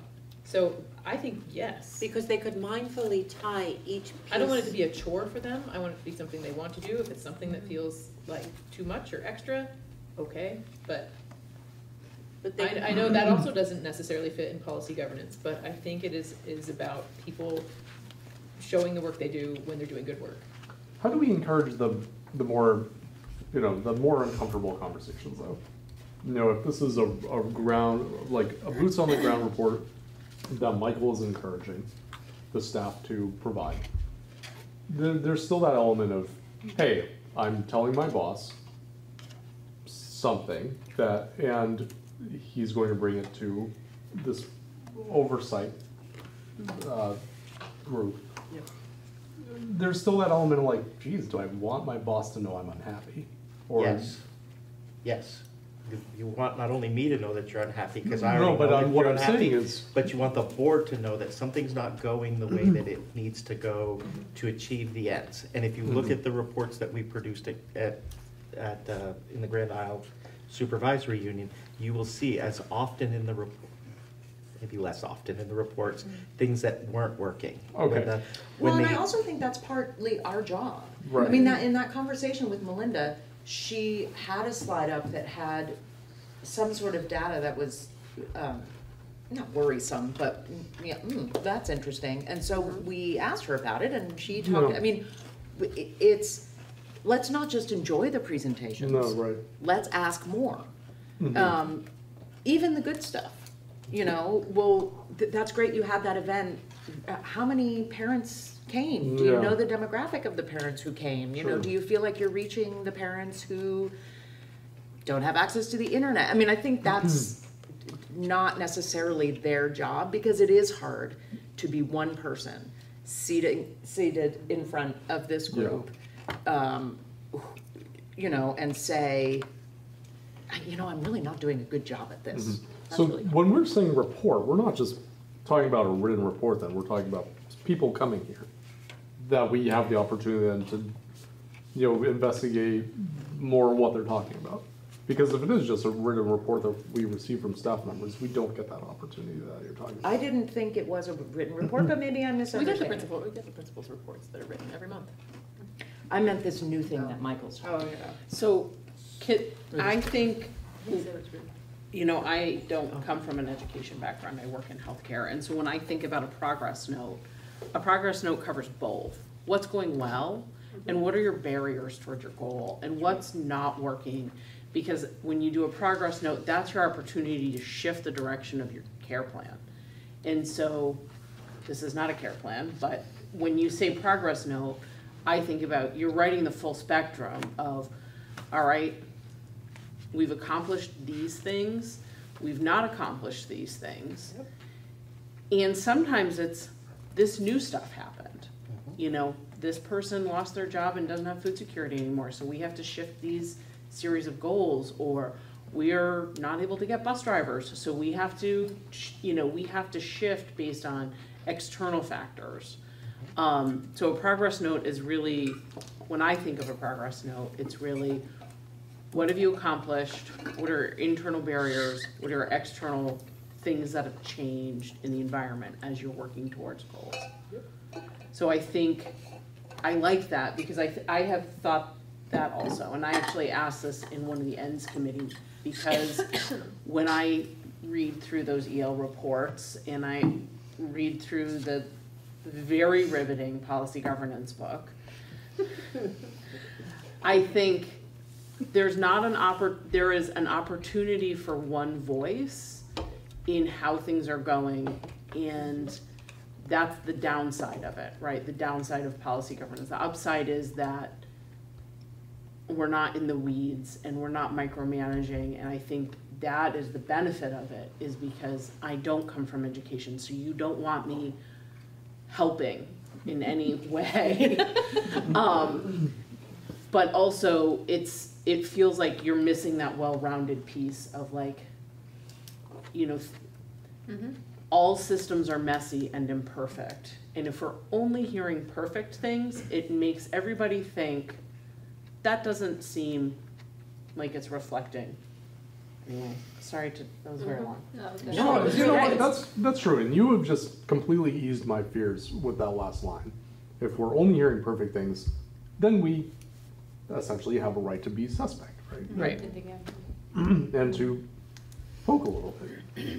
And sometimes everything does go right, and that's awesome, but not not often is that been my experience in life. I am confident I will bring, able to bring you a challenge on a regular basis. That's great. I think it would be great if we asked the principals also to start aligning, or not just principals, anyone who comes to present, aligning some of their content with the ends, Oh, that's a good idea. Mm. right? that's good. And the portrait of a graduate. So Yeah, like it if would they're be gonna, right? To- For those to have some Yeah. consistency for us, to see Yes. like, yeah, because I know it's, some of them have been like, oh, here are the test scores, but then others didn't report on that, so it's, I like that. Yeah, A consistent format of how these presentations should be provided to us. okay. And I love the idea of a consistent format where we have like, yeah, show, tell us the positive elements of these ends that are, you know, occurring or that you're working towards, but also, like you said, what are some barriers to these ends? Mm-hmm. You know, well, You mean like state data being comparable to the last state data? Ever coming out?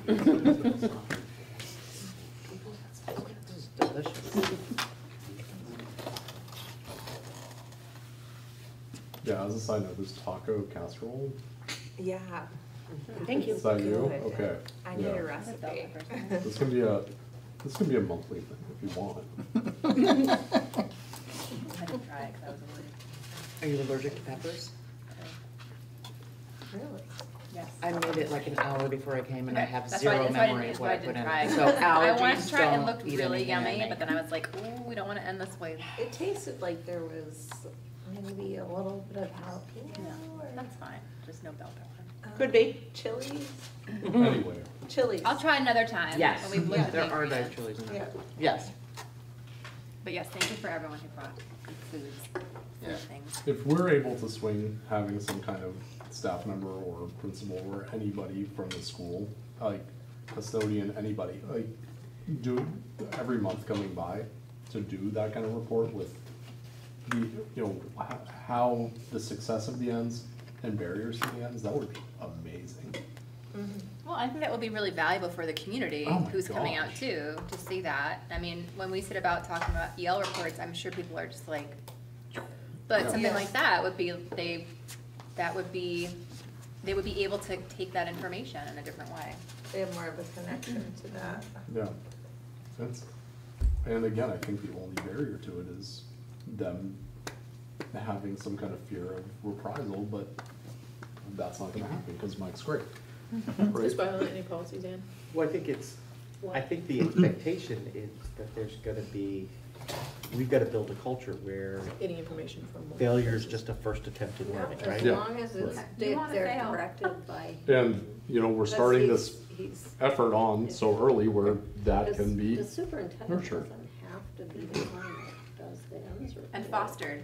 and cultivated, And and, cultivated. and then He's stewarded. responsible for it. He's responsible for, for the ultimate end report at the end of We're getting that. the year, but if it gets mm-hmm. put together by, and I would hope, I would Yes. hope that he's using his people, because I'm guessing he isn't, hasn't, have you, you haven't been an, a primary school, elementary school teacher where you're really trying to teach I have three Children months of how being to- an elementary school principal, that's about the extent of it. And So- all of my superintendenting has been These with the curriculum elementary, but- coordinators, I mean, all of those folks should be Yeah, the pulling collaborative. It's the in. whole It's a team. collaborative effort to, to meet the ends, so, yeah. I think this conversation just also ties in really nicely with what's next on our agenda. Mhm.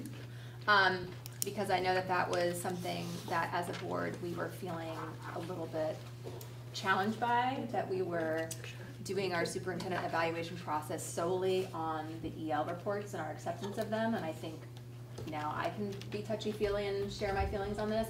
That felt very rubber stamped to me, um, because we accepted these reports every month, therefore, that was the evaluation, and that was the extent of the evaluation. So, um, just kind of, not to move on, but just kind of saying how I think if, if we're looking at other ways to bring information from, um, members of the school district that are not, and it's not just getting filtered through, um, from the superintendent's perspective, but we're hearing different voices around topics. I just feel like that's, that's gonna help us also in the second, in this second phase of the evaluation process too, and how we're, how we're approaching that, rather than just these acceptances of EL reports. And I know we moved towards that last year with our like trial run of an actual different evaluation. Mhm. Um, So, which I appreciated Yeah. us doing that one last year. And I, I happened to find before coming tonight this, um, you were on the evaluation committee, right? Yeah. So Chelsea and you and. Probably. Sarah, you Yes. were on it? Yes. Sarah, you weren't. So a handout you all had, had given us, um, evaluation, superintendent evaluation goals for the remainder of twenty-three, twenty-four. To be reviewed and reassessed in June slash July of twenty-four as part of the, the twenty twenty-four superintendent evaluation in August of twenty twenty-four. Obviously, that's not going to happen, but, um, We're gonna evaluate you based on tonight. Next month. On this meeting alone. Get ready. Thinking I'm doing great. Come up with some really good words for our statement. Oh, you Your know, work here. EL report accepted. No, it's, you're doing great. So how do people feel about last, how we did it last year? I mean, it, it, Felt great. the evaluation, I, I don't know that, I feel like there was very little evaluation. So much more than there used to be. Okay, oh, was there? Okay. So- I mean, I'm, I'm very new to, I'm very new to this. Previously, we didn't, we didn't evaluate. We, the, the acceptance of EL reports monthly mm-hmm. was the evaluation of the And the superintendent. ends report. And the ends report, but that, So again, that's the whole, that, so this is where I get a little frustrated with this board. Our job is to make sure this district is producing for our students. And that ends report is really, really important. That is the bulk of our work. And then the EL reports are just, you can't go out of these guidelines. So yes, the EL reports, he, we accepted them, we accepted the interpretation, we didn't add anything in. If you had concerns, as a board member, our job is to speak up if we have concerns and look at our policies and say, okay, what do our policies say? And if our policies aren't saying enough explicitly that doesn't cover our concern, then we need to add it to a policy so that we are, are, are keeping our district in line in terms of the, the means or the ways that, that we want them to achieve those ends. But that wasn't all last year, the evaluation process we went through. No, mm-hmm. no, And in we fact, he- added, there was we a lot of added from the this, board. which is, which, And in the contract, it says reviewed annually. It Yeah. doesn't say But by it- policy So I'm governed. still wondering what, But- you- you said you're frustrated. What, what is what your am I frustration? frustrated with? Yeah. Because we have a policy that says exactly how we're gonna evaluate the superintendent.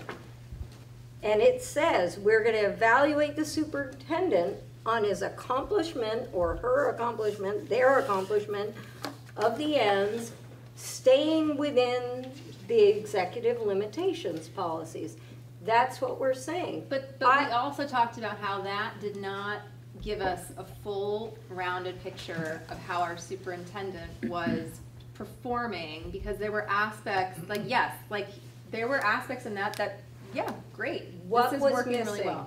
That is my question. And again, we're, now we're looking back at some, someone who's gone now.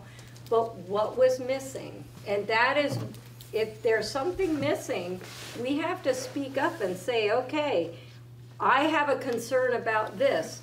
What do our policies say?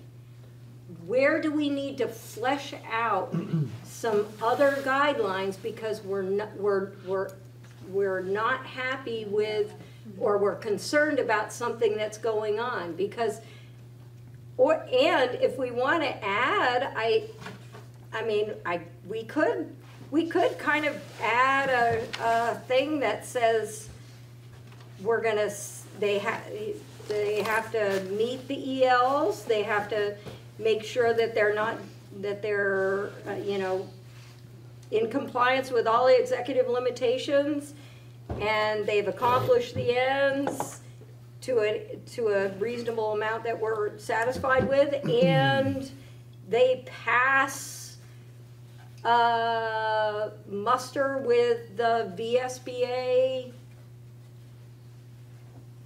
uh, uh, superintendent evaluation process. But if you remember, with the, the only people who rated the superintendent the, the most, the, the, the, the uh, least, least well were board members. So here's what I, th- this is again, the policy governance and my feelings.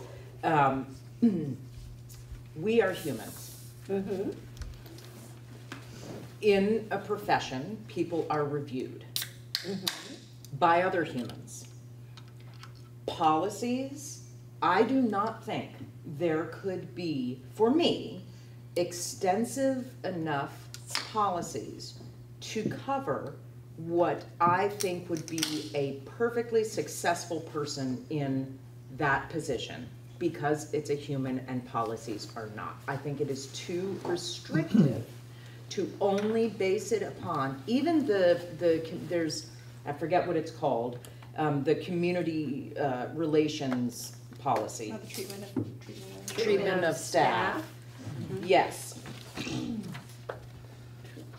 You- Go ahead, you had something to say before I did, please, Amy. I, so I think Speaking the well. way that I see this, Anne, is what I hear people saying is how do we expand that? How do we get more information to make a more informed decision? So it's not that, I think that what you're saying, what I heard you say is if you don't like this, then we need to change it. And what I hear the, what I hear from some board members is we need more expen- ex- expansive information to make informed decisions. So I think you're actually saying the same thing. Yeah, and because we were just Well, and saying I'm in the not- previous conversation, those EL reports are pretty pin, pinpoint, they're filtered down, that information comes to us. And I think they have, I am not negating that they have value, obviously they have value, especially in, the- in the realm that they're in, but that there were other pieces that we were, that we felt as a board, or maybe not as a board, maybe individuals on the board, felt were missing from making a holistic um, evaluation of an individual in a position. Like, you could be really good at what you're doing, but you may be lacking in other areas, and we're not capturing that in a way that, that we feel, that I felt was beneficial not only for us, but also beneficial to the individual in the role to be able to see areas of improvement and gains. Mm-hmm. That's it. That's it. I, that I think is the key. That we want somebody sitting in that chair who is interested in doing the very best job that they can. And in order to do that, they need feedback that is not just them reporting out ends reports and saying, yep, check, check, check. They need feedback on their professionalism and best practices and mentorship and and they need to know what we all think as they as the board. That person needs to know what we all think regardless of who it is needs to know what we think so they know how to improve. And we want somebody who wants that information right? We want somebody in that seat who's interested in in constructive feedback to become the best version of a superintendent ossd can have And I think progress is a dynamic process. So getting an ends report once a year is not dynamic, it's linear, right? You have, there's not, we as a board can decide how frequently, and we've already sort of discussed about getting some more frequent updates on how we're doing toward those ends. Um, I, I mean, I am, I am, I feel comfortable with, with the EL reports and the ends. What I'm hearing is other people are not. My question though is, what are you, what is, what are the concerns? And can we, so I, I would, I, I would like, to- the, the thing with having it in policy is it's upfront. You know what the expectation is and you know what you're gonna be evaluated on. So I guess if, for me, that's why I really like this, because it's, it's very clear. And if there is something in treatment of staff or treatment of students that we need to be more specific about, that people have a concern about, or if, But isn't it if basically you a think self-evaluation? Yeah, I professionalism don't- is yeah. not. I don't think And- it's, I don't think the issue is the policy or the It's basically a specificity. self-evaluation. Yeah, it's how we get there, Mm-hmm. it's how we evaluate, it's how we. If it's reasonable, but I've heard something else, and this is what happened with the treatment of staff in a meeting. We got information, this is how I interpret it, reasonable. This is the evidence, reasonable. I said, I'm concerned, I've heard other things. Mhm. But could I vote against that report? It was reasonable. It was true. It was his experience. It was his interpretation and evaluation of that policy. The policy doesn't have a problem. So, but, so what is the concern? The concern was you heard from a staff person, Many. many staff people, Mhm. that, that someone was misbehaving. And or I saw it, yes. And you saw it. Mhm. So there are, there are policies in place, there's a, there are things in place for that person to bring it, either bring it to the board's attention, bring it to the union's attention, And and, you're talking about grievance policy. N- But, but hmm. even a complaint. how am I supposed to vote against an EL report You, you, that doesn't have unreasonable information? It doesn't have untrue information, even though it's subjective. So what, okay, think how what- about this? What about you having a conversation with the person and saying, I've just observed this behavior, this doesn't seem professional, uh, you know, like, what's going on? Mhm. And what, what, uh, what system is in place in this organization to deal with this type of thing? Because we are, I'm not gonna be able to be in mm-hmm. here watching his every movement. You have to, we're looking more at a system and we have to be system thinking. There has to be systems in place for, for an employee who might feel that they are not being treated professionally to be able to have an avenue to get, not just, oh, because you happen to be there and see that interaction. And they have to feel empowered to be able to follow that avenue, to, to be able to either approach the person and say, you know, we were having that meeting and I really didn't appreciate the way that you spoke to me. How We would need that to change talk the about EL this. report? So what I think I'm hearing. what- Because it would, if we would know, the superintendent would say, we have these structures in place that allow people to be treated, let me read. In commonly accepted educational and professional ethics and practices.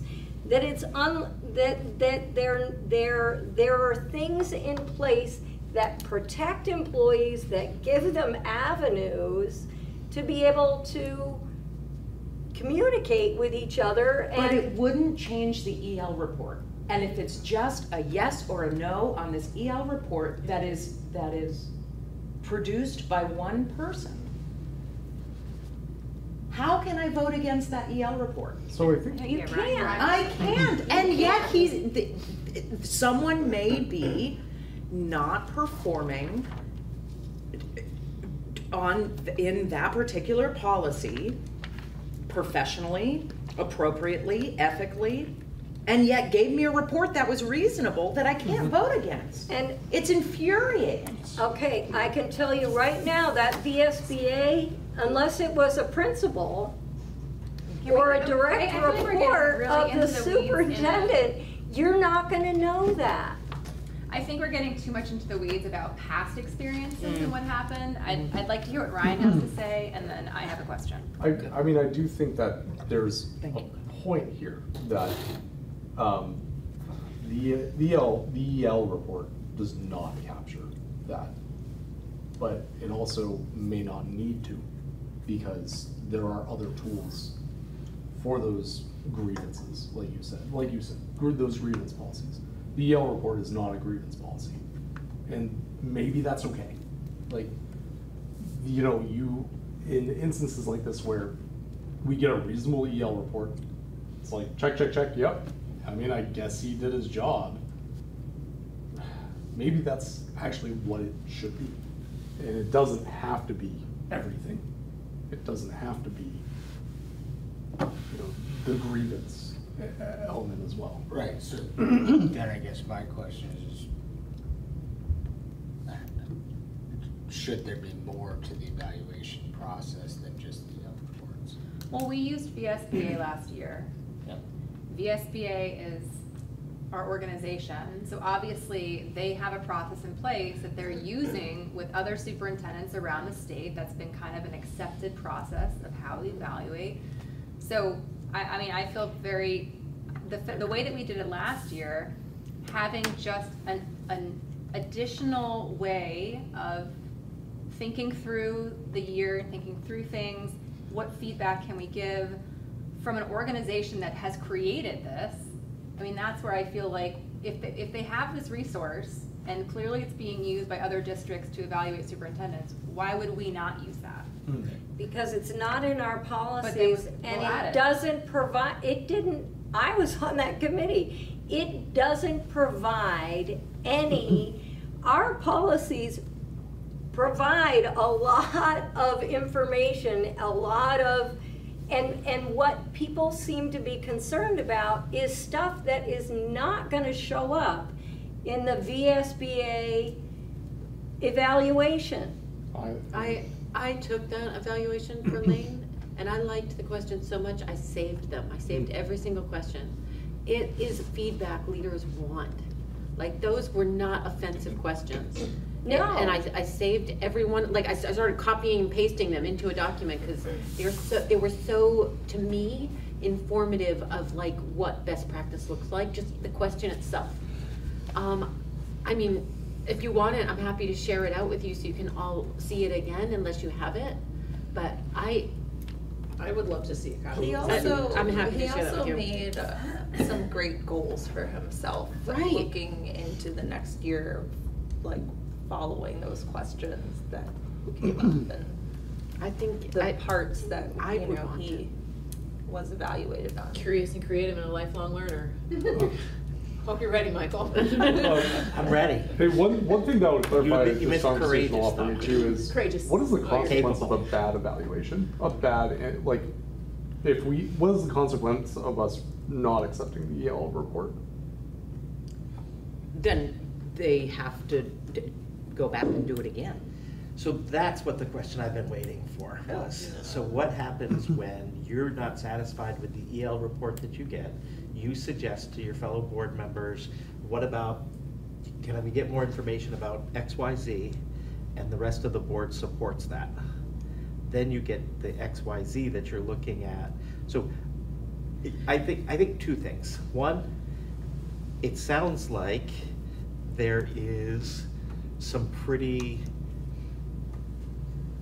I don't know, strict parameters around what an EL report looks like and what, you know, I, I have the sense that, I also have a sense that my expectation is if I'm putting together a team report on a monthly basis of how we're doing towards, moving towards the ends, you're getting that from a variety of places.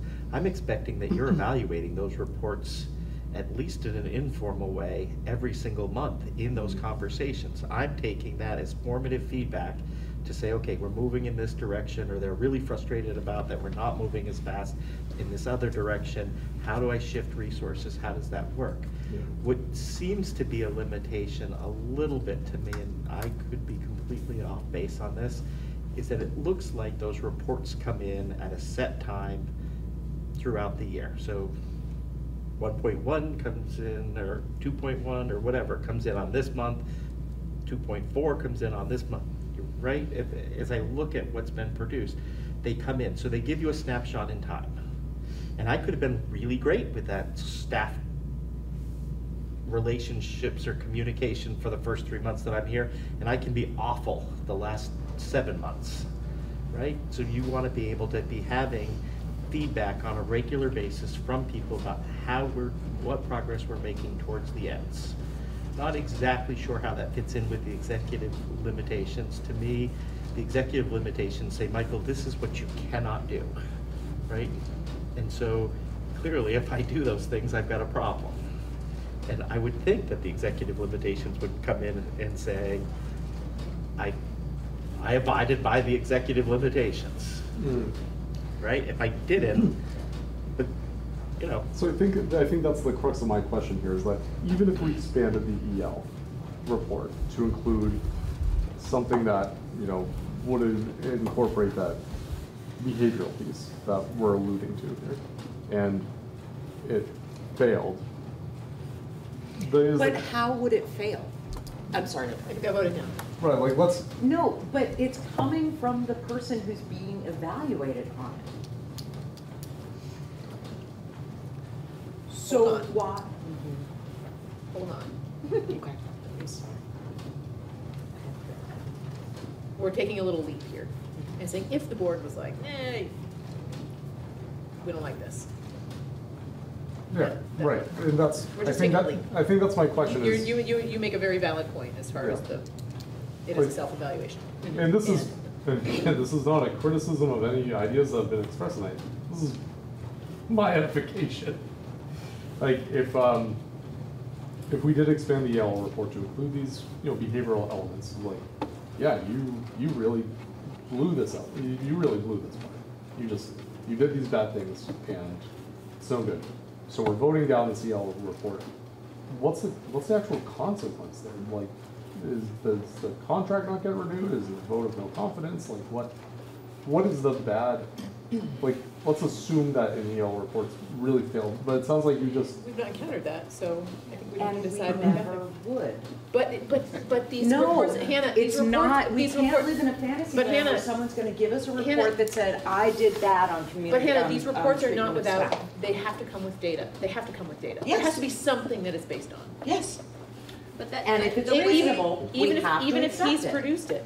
and if it's reasonable, we have to accept it. Even if I And, admit and if all we don't kinds of like it, stuff. if, if it's reasonable and we don't like it, and we don't believe him, we say, we missed this piece. We modify the, we modify the policy right there and say, come back to us next month with this new interpretation. Or, we're gonna have a special meeting in two weeks, and you've gotta rewrite it with our new, with our new policy.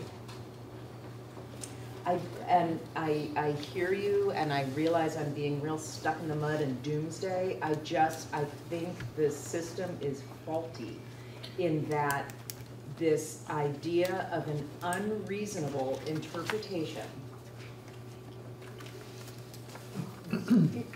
that is objective, thank you, an objective self-evaluation we're not, it's not a pass or fail. It's not a you did good or you didn't do good. It's a, did you do a good report? That's what it feels like to me. It's not an evaluate, uh, an acceptance or a vote of the superintendent's treatment of staff. It's an approval or vote on the superintendent's report of his or her treatment of staff. what, again, though. So it, it's a fantasy, wo- i- i- in my opinion.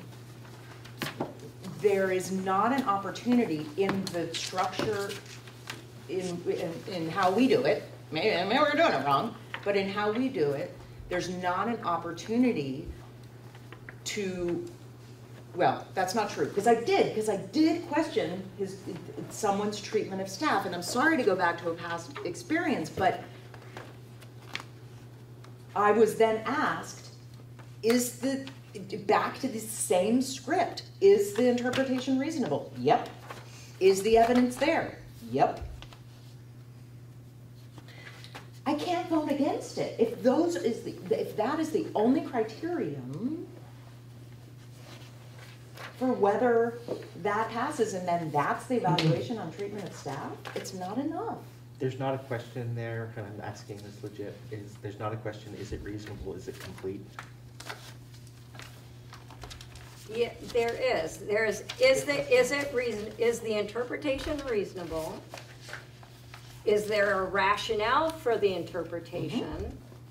And then there is, is there enough evidence to support that interpretation? Yes, you can include the evidence that's supporting that and. Subjective, subjective, subjective. But it's Not- not complete, Yeah, yeah, because it's not including evidence against it. uh, against it, right? So when you look at data interpretation, you're just like, I don't like any of these low points, and just skim them off. That's an incomplete evaluation. So I think that is a complete question is important, and I think that speaks to what you're, what you're kind of stuck on. Mm. Is the, is the information has felt incomplete. And when we talk about thinking about a a more broad perspective of what's presented, either through progress reports or another means, that is a way in which to determine if the information we're getting in EL reports is complete. And so if it's incomplete or there's some other fault to it, we vote it down and then it, they We don't accept it. we don't We accept don't it, thank accept you, it, they thank you. have to go back. And then the superintendent just has to rewrite it and resubmit it? No, they wouldn't be able to. They have to, they have to, Way. They have to get back in compliance. Oh, And if it's egregious enough, we have cause to end the contract. I see, so that's the consequence. So in Thank you. particular, so let's look at treatment of staff. So this is what, these are the guidelines. With respect to the treatment of paid and volunteer staff, the superintendent shall not operate without written personnel rules, clarify rules for staff, provide for effective handling of grievances, and protect against wrongful conditions.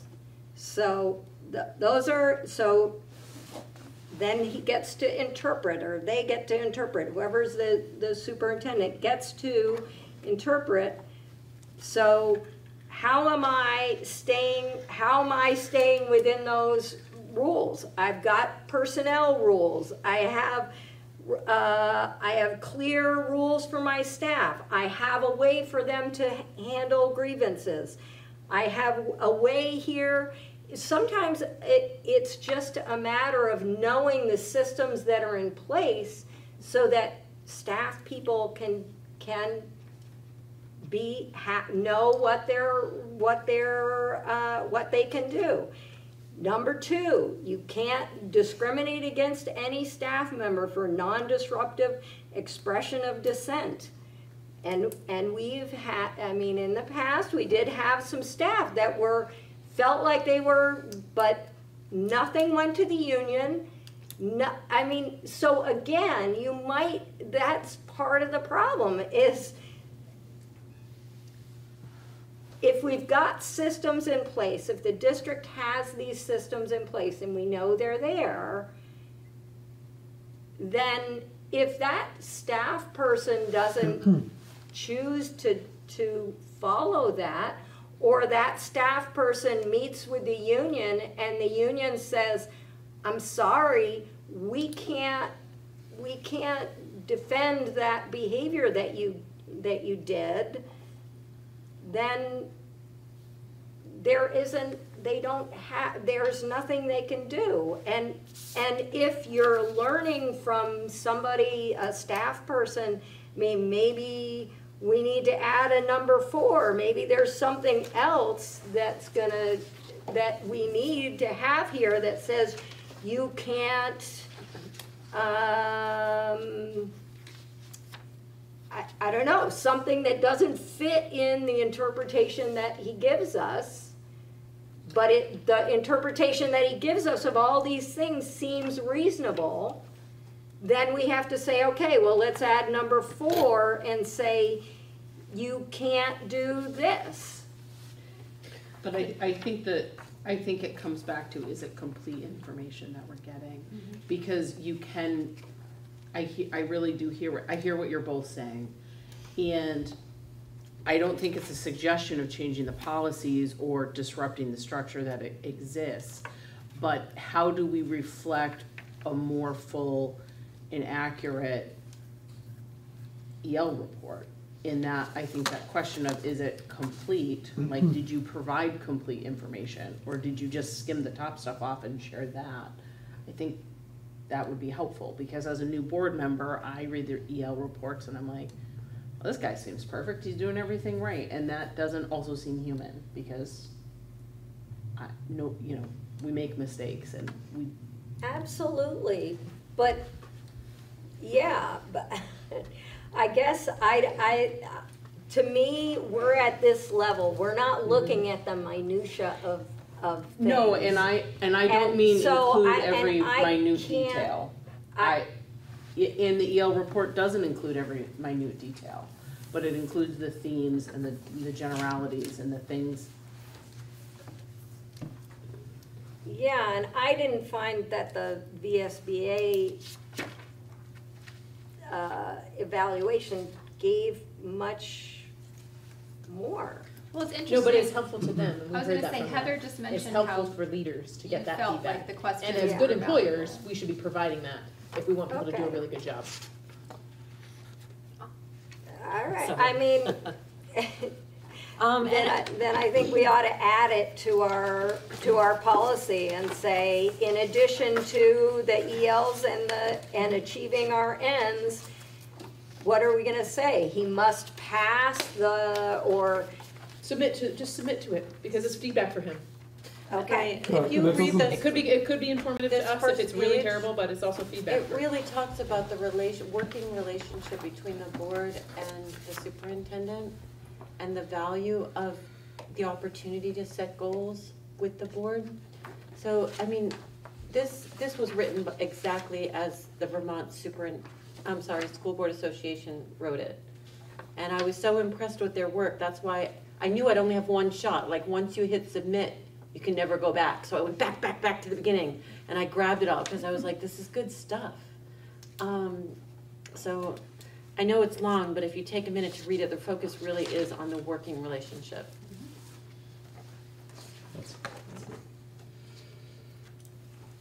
right, and I saw all of this stuff as being, it's in our EL, it's in our. We're, we are not set up ELs. to enhance the performance of the superintendent without giving, you, you you can't improve if you have, if you have no feedback other than check marks. Right, uh, yeah, well, it, he, he does have to look at, how am I doing providing the board, communication to the board? We, Phonetic. I guess he, he, I don't know, I mean, I guess, if we're not getting what we need, we need to talk to him. I, I don't know, I just, I, I, I'm okay with it as long as we put it in here, that we're, that in addition to this, we're gonna, he, he's gonna submit to getting feedback through the VSBA's superintendent evaluation for his own personal growth, I, I mean, it's, it's fine with me, I just, hopefully, as we move forward, if people have concerns, they bring it up, because otherwise, it doesn't, it creates a distrusting relationship. And that is really, I, it would make it hard to be a leader, and it makes it hard as a board to function if people are going, oh, well, this EL report, uh, I don't think this is, I don't think this is accurate, because someone in the, one or two people in the community come up to you and say something, And that is not a reflection of what happened. I brought it to executive session and I brought it to the superintendent himself. I am really getting, in fact, I guess I- insulted by how you are uh, um, representing what happened. It is in the past. I think this is a really constructive conversation. I just ask that that Okay, I, I need to express that that is very angering to me. Okay, I'm, I'm sorry. I, I don't know what you're referring to, so it's hard, I, I mean, I know what I just said, but I'm, I don't remember that particular incident. But I'm hopeful that people will share their concerns when we're, when we're looking at policy, so that we can, we can we can improve a policy if there is information that people feel isn't there. I, I, I don't know, I, So it sounds like we are feeling like the EL reports obviously are, are going as they're going. If there are issues where we're not getting information that we feel would be representative or, or important for the board to get, we as a board then need to reflect on our policies and make improvements there. It Sounds like as a board, we are open to continuing to use the VSBA superintendent evaluation as an augment to the EL report and the ENS reports that we receive, um, with putting that in language in the policy that we have regarding superintendent evaluation. Is that where we're at? yeah, So we need to change that policy? right, where there's a policy, Is there any, Mike, Michael, is there anything in your contract that, that would suggest that we have to modify your contract in order to get you to submit to the VSBA? I don't think there's a, no. Okay. No, I think we That was an wrote, issue before. well, I think we wrote, all right, so there's, there's practical, I think that there maybe is the letter of the, I try to teach administrators, you can follow every policy to the T and still not be successful. Yes. You can follow all the laws to a T and still not be successful. There's another element to this, which I suspect is what you all are talking about, and it's the human element that's hard to measure and hard to know. You know it's not right when you see it, and you know it's right when you do see it. Um, My take is, you've got a contract with me that's written in a way that uh, if you don't want to renew me, you tell me that you don't want to renew me and that we're done. And we, we move on. There's a time frame with it and whatnot. And when you do renew me, you decide, I don't want to sit down and negotiate with you. What are you gonna, what's the salary gonna be and whatnot? If if there's a cost of living and if you want to put some sort of merit pay in there or geographic conditions, you put those in. You're in control of it, is, is what's going on with that. And it resets, it, it does what it needs to do. At some point, I'm gonna understand what the timeline for the evaluation is, if it's just EL so I'm used to writing a mid-year report about how we're, what progress we're making towards the goals. I think you're gonna see an informal way of, of reporting out, and I'm gonna expect that you're gonna provide feedback. I'll certainly be disappointed if you don't provide feedback that is potentially negative at that spot, because you know, you don't wanna surprise me any more than I wanna surprise you. Uh, so I think that that's, there's a conversation that has to happen along the way. You have already, with your ends, given me more direction in a, th- probably three years' worth of work in Essex Caledonia and at least a couple in Grand Isle Supervisory Union, right? I've had to intuit what is the board's goals and then put down for the board, this is what your goals are, what do you think? And so you all are already coming out of the gate with a much more clear expectation. What I have to do is I have to translate what you're expecting into language that doesn't bog down administrators and teachers. And then they come back and report. So they're not gonna, they're gonna come back and report on the goals that we set. I pitch, the way I'm picturing this is they're gonna come back on, on the goals with, the- that's what they're reporting, which is going to tie into your ends. And if it doesn't tie into your ends, then I haven't set the goals in a way that's going to accomplish what you, what you need. I don't think that they're necessarily gonna be sitting there saying, the end was, uh, communication. Right, because I have to interpret that, they have to understand what, it's more complicated, and that's not what, that's not necessarily what their role is. Mm-hmm. It's my role to put together things that are going to accomplish what your, my interpretation of what you're looking for. So no, there's, I'm never gonna sit to you and say, you can't do that, my contract doesn't say that. If you say I'm not happy, I'm gonna say, okay. You know, and we're gonna, we're gonna go, we're gonna go our separate ways, and that, that's, that's what'll happen if it, if it's at that point. Or you're gonna say, we'd like to see this, this, and this, and I'll say, great, I can do that, or no, I can't do that. Right? If I had a board, I I worked for a board that wanted me to do things that were unethical and maybe illegal, and I chose not to do that. And they voted no confidence in me. Okay, I'll wear that, fine. That board turned over completely. So you know, I think that that's, that's the way that I operate, is that I'm gonna tell you what I think. Uh, I'm gonna do it in ways that are professional and responsible. Uh, do I think that you're gonna bump into staff members along the way that aren't happy with decisions that I make? You bet I do. I'm probably gonna do it because you make me do it. Right? You might have something that they're not gonna be real thrilled about. And still, it makes sense for kids and accomplishes the ends.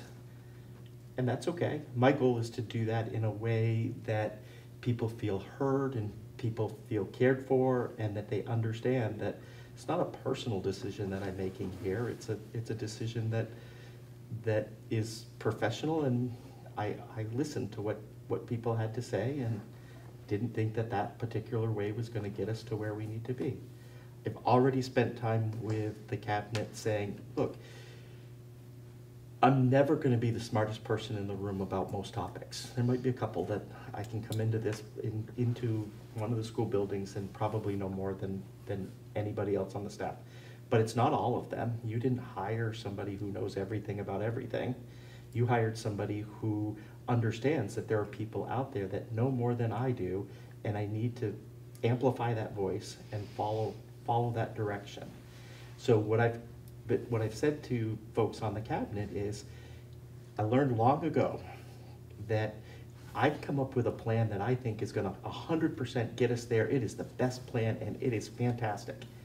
And if people implement it at fifty percent, it's gonna be not as good as the plan that they come up with. It's only eighty percent as good as my plan. But they implement it with hundred percent of their effort right? And that's what leadership has to understand, is that I don't get to dictate everything from on high.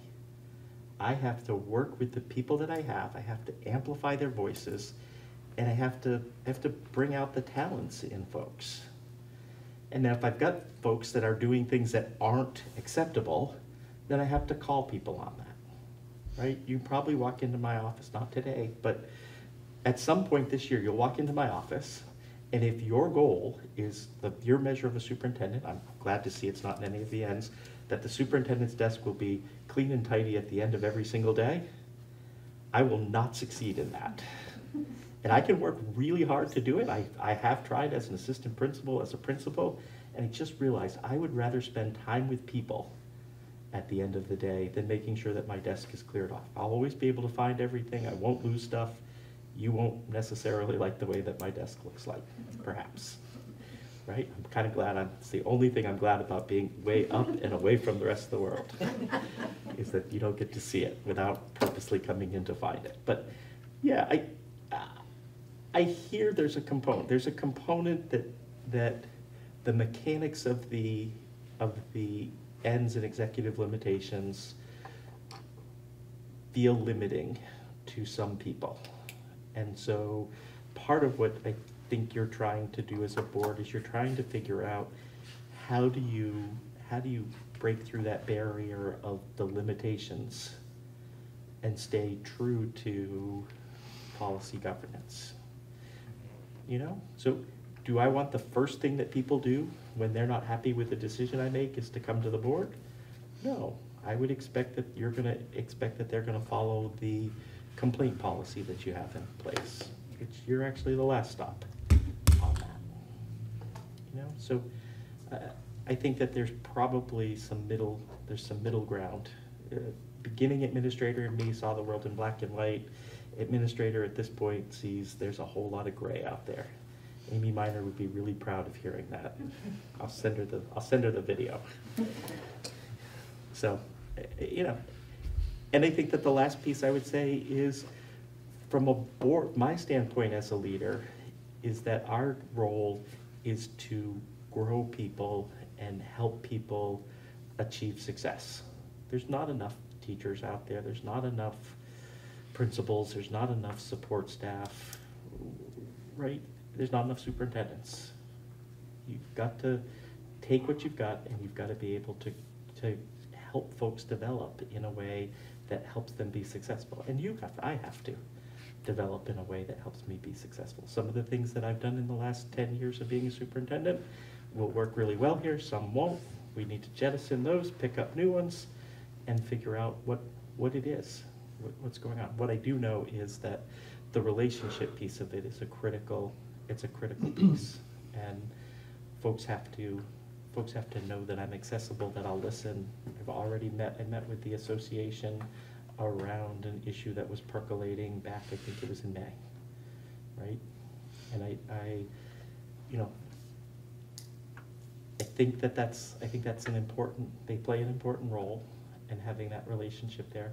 And tomorrow, I'll be over at the, I'll be over at the uh, summer school program for at least a little bit. Um, So people will see me around, people will be there, and hopefully what that has done for me in the past is had people say, I can tell Michael things that I'm thinking about, and I don't have to do it in the formal way. I can come back and have the conversation. So, I don't know, that was, I don't even remember what the question was to start with, so. That's it. Was, I, the question was, is there anything in my contract that limits? That's right. Don't ever ask me to be brief, huh? That might be another thing I might not be Pick good up at.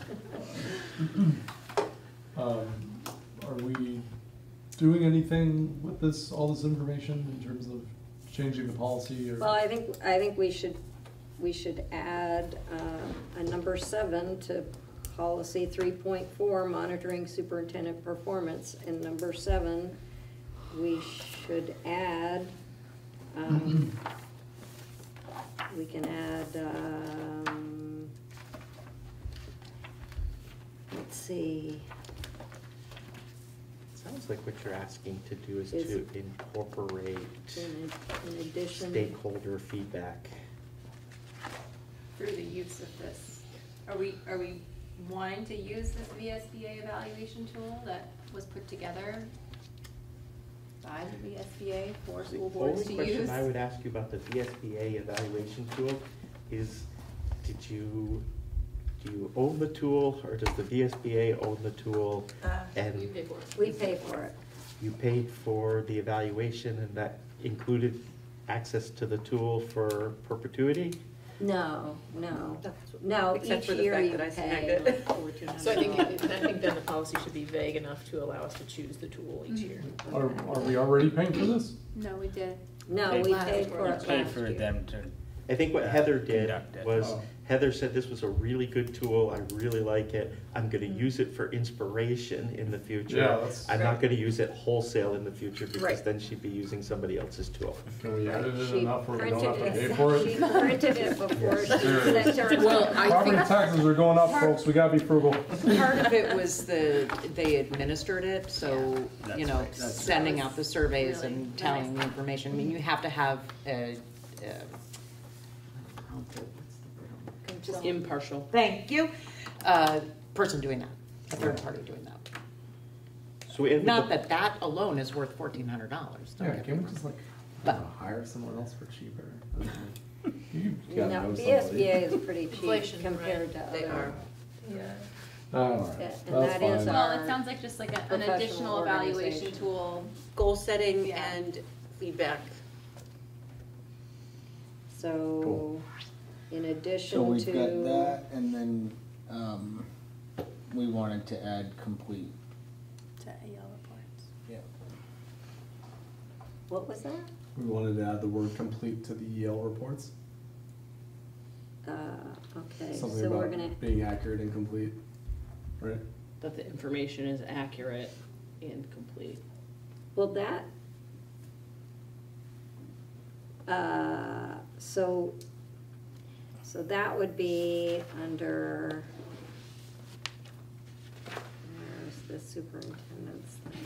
Hey, side note while Anne's looking that up, if we have questions about what's in these, um, accounts payable board packet warrants, when is the appropriate time to bring that up? Uh, what, like, do we need an agenda item? Those are typically already paid, right? when we sign them? Yeah, but if we just have questions about them, or, cause every month I, I see these, we sign them, I, I, I mean, I know that half of us don't even look at them. What's, what's going on with these? Like, what are, what is Kyle our can answer responsibility with these?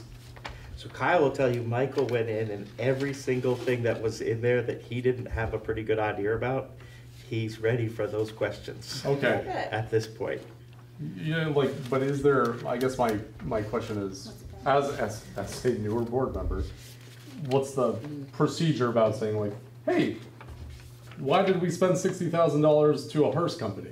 Like, when, when is that well, part That of was the the, meeting? that was the ambulance, right? That was the ambulance. Yeah, Yes. But That is my question, but also my, my question to our board chair is like, is there? It's for health Is there a procedure, Ah. procedure, or something regarding that? Mobile medic, If I well, have questions van for about health these. careers. Yeah, I mean, I, I will say that a lot of times those have names attached, so it is not an open session that you might bring up something like that. I just Right. wanna put that out there right now, um, cause payroll comes through us, right? So Sure. That you can't bring up in open meeting. Um, I certainly, if I were you and I was questioning something, I wouldn't sign it, Right, right? Um, cause it has to be signed by all of us. Um, but in open session, you can ask anything you're okay, yeah. being asked to approve.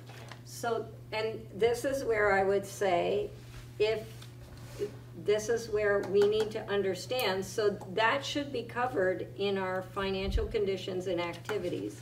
So, that is every, that's, those are, those are checks and things that the district needs to operate. So, we can't we, we have to, we have to sign off on it because it's our, it's our role. But to, to ask us to be able to figure out exactly all of that stuff, we've hired him to do that. We want to, and then when he's reporting to us on the EL conditions, he's gonna tell us, those reports, those things, there are processes in place that they get looked at by one person, then over here. And so that there is a process in place so that when we get those as a board and we need to sign them because it's how the district keeps operating, mm-hmm. we're, we get assurance from this EL report that there are systems in place that, that that is happening so that we Right. can just sign off on it. No, I trust that the money's being spent well, but if, if I'm just curious about any of this stuff. Sure, I sure, would that's, suggest, I would suggest that there isn't anyone in the central office who would question you coming in and saying, why didn't we spend sixty thousand dollars at a hearse company? Right? Um, I think anyone would be, Yeah. be more than willing to answer that question. Absolutely. Because ultimately, I- it's your money. Yeah, and I'm, and I appreciate that, but I think, again, like, I, I think I have my question answered, which is, is there, oh, yeah, procedure for just saying, hey, what, what was this line item? Well, you guys but help- remember, there's a procedure of a meeting, right? So if that's, us signing that is not actually on the agenda. So it's not an agenda item where you can, there's discussion, right? So it's, um, in terms of process, during the meeting isn't necessarily the time to, mm-hmm. to bring it up. But going in and asking a question, there's, Central. And then to if central office, there's you- nothing. And then if you didn't like to answer, asking for an agenda item next meeting. Oh, okay, that's the process, mm-hmm. thank you, that's what I was looking Yeah. for. All right, Or right, if you just wanted more information, you could ask for an executive session if it was Yeah. a person, if it was something that was, you know, not public information. so, But again, that's, I mean, going around in a circle here, but that's under our, one of the EL reports regarding financial responsibility. right, right. So we, you So know, we're entrusting our superintendent to spend our money Yeah. yeah, appropriately. And, yeah, it's like the little. But it's also something he's carousel. signing off on No, and I he's totally reading it agree. through, And which that's is just- also his I totally agree, but that's where it responsibility, gets so. kind of like, Yeah. because again, by the time these have reached us, these have, these have been paid out mm-hmm. typically. but if, again, if it is, that's, I think that's ultimately, Hannah, thank you for Yeah. that, because it is ultimately like, this is being presented to us and I'm approving this. I don't know everything that I'm approving here. Yeah. What is the appropriate time and means to ask, what am I approving? You know, and I mm-hmm. think you've all answered the question very well, thank you. That actually goes And you feel a little better that I knew the hearse was the ambulance. Most importantly, The, the old hearse Ambulance Company duo. It's like a KFC Taco Bell. Well, it's a, it was, it's used, it's for health careers, and I guess that was the vendor who could deliver it. And we, we now own a. Yeah, we we're gonna brand it RTCC and, um, Wait, wait, so do we own an ambulance or a hearse? An an ambulance. ambulance. Okay. Next. I was like, wow, we don't really have a lot of faith in the health careers. if We Right. got a hearse. Or maybe we do. The old, the vocational center funeral director Exactly. program, yeah. We're branching out. Um, So with all of our agenda items having been uh, hit in one way or another, um, unless there is further business to discuss, or anyone has a need for an executive session, I am going to adjourn this meeting. Oh, well, I Yeah, I oh, you have other business. Other business. Um, I just wanted to let the board know that I will be resigning after this meeting. Oh, Um, I, um, I'd mentioned to Hannah earlier this year that I was really committed to seeing through to this transition to a new superintendent. Um, but time has come for me to focus on the schools that my children are actually in and put my energy there. Um, and just want to say it's been such a pleasure to serve with all of you. I think this is a great board, and I think that's why it's taken me this long to step down, um, even with no, no children in this district. Um, but yeah, I've just really enjoyed my time here. It's been kind of a wild few years, and I think everyone is really invested. It's great to see a board that can have these conversations, that does come, you know, that we can kind of toss things around and people are invested and engaged.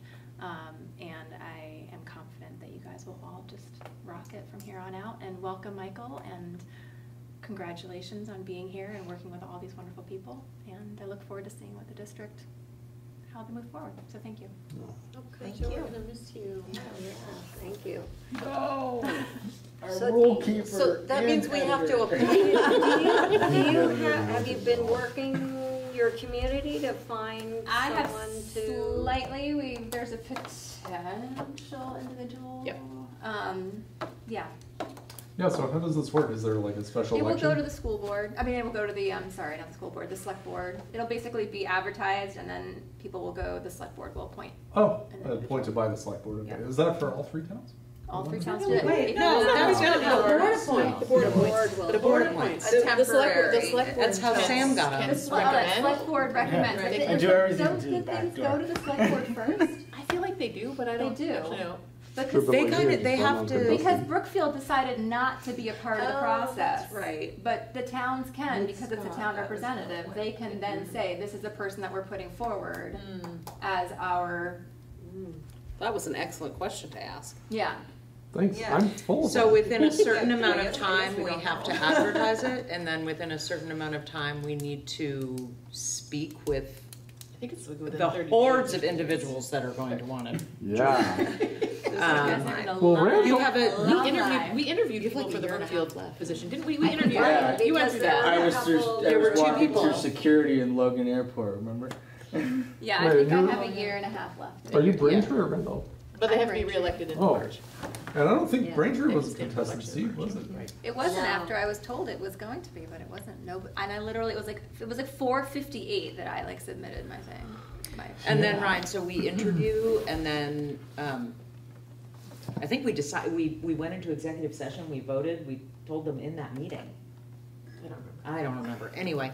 Um, and then the- whoever is voted in serves until the end of that person's term. term. No, they serve until the election. They get, have to do. Oh, March just until the next Yeah. election. Oh, wow. Oh, yeah, you did have is to a run right away. Then you have to run. That's right, thank you. You're an And then the town clerk will never get, will, won't realize the change and they'll call you every year telling you you're up for election.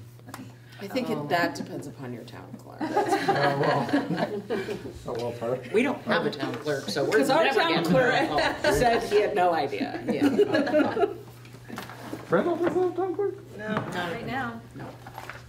Oh, you should, is what's on. Go. Yes, it's, Go. yeah, It's a goal.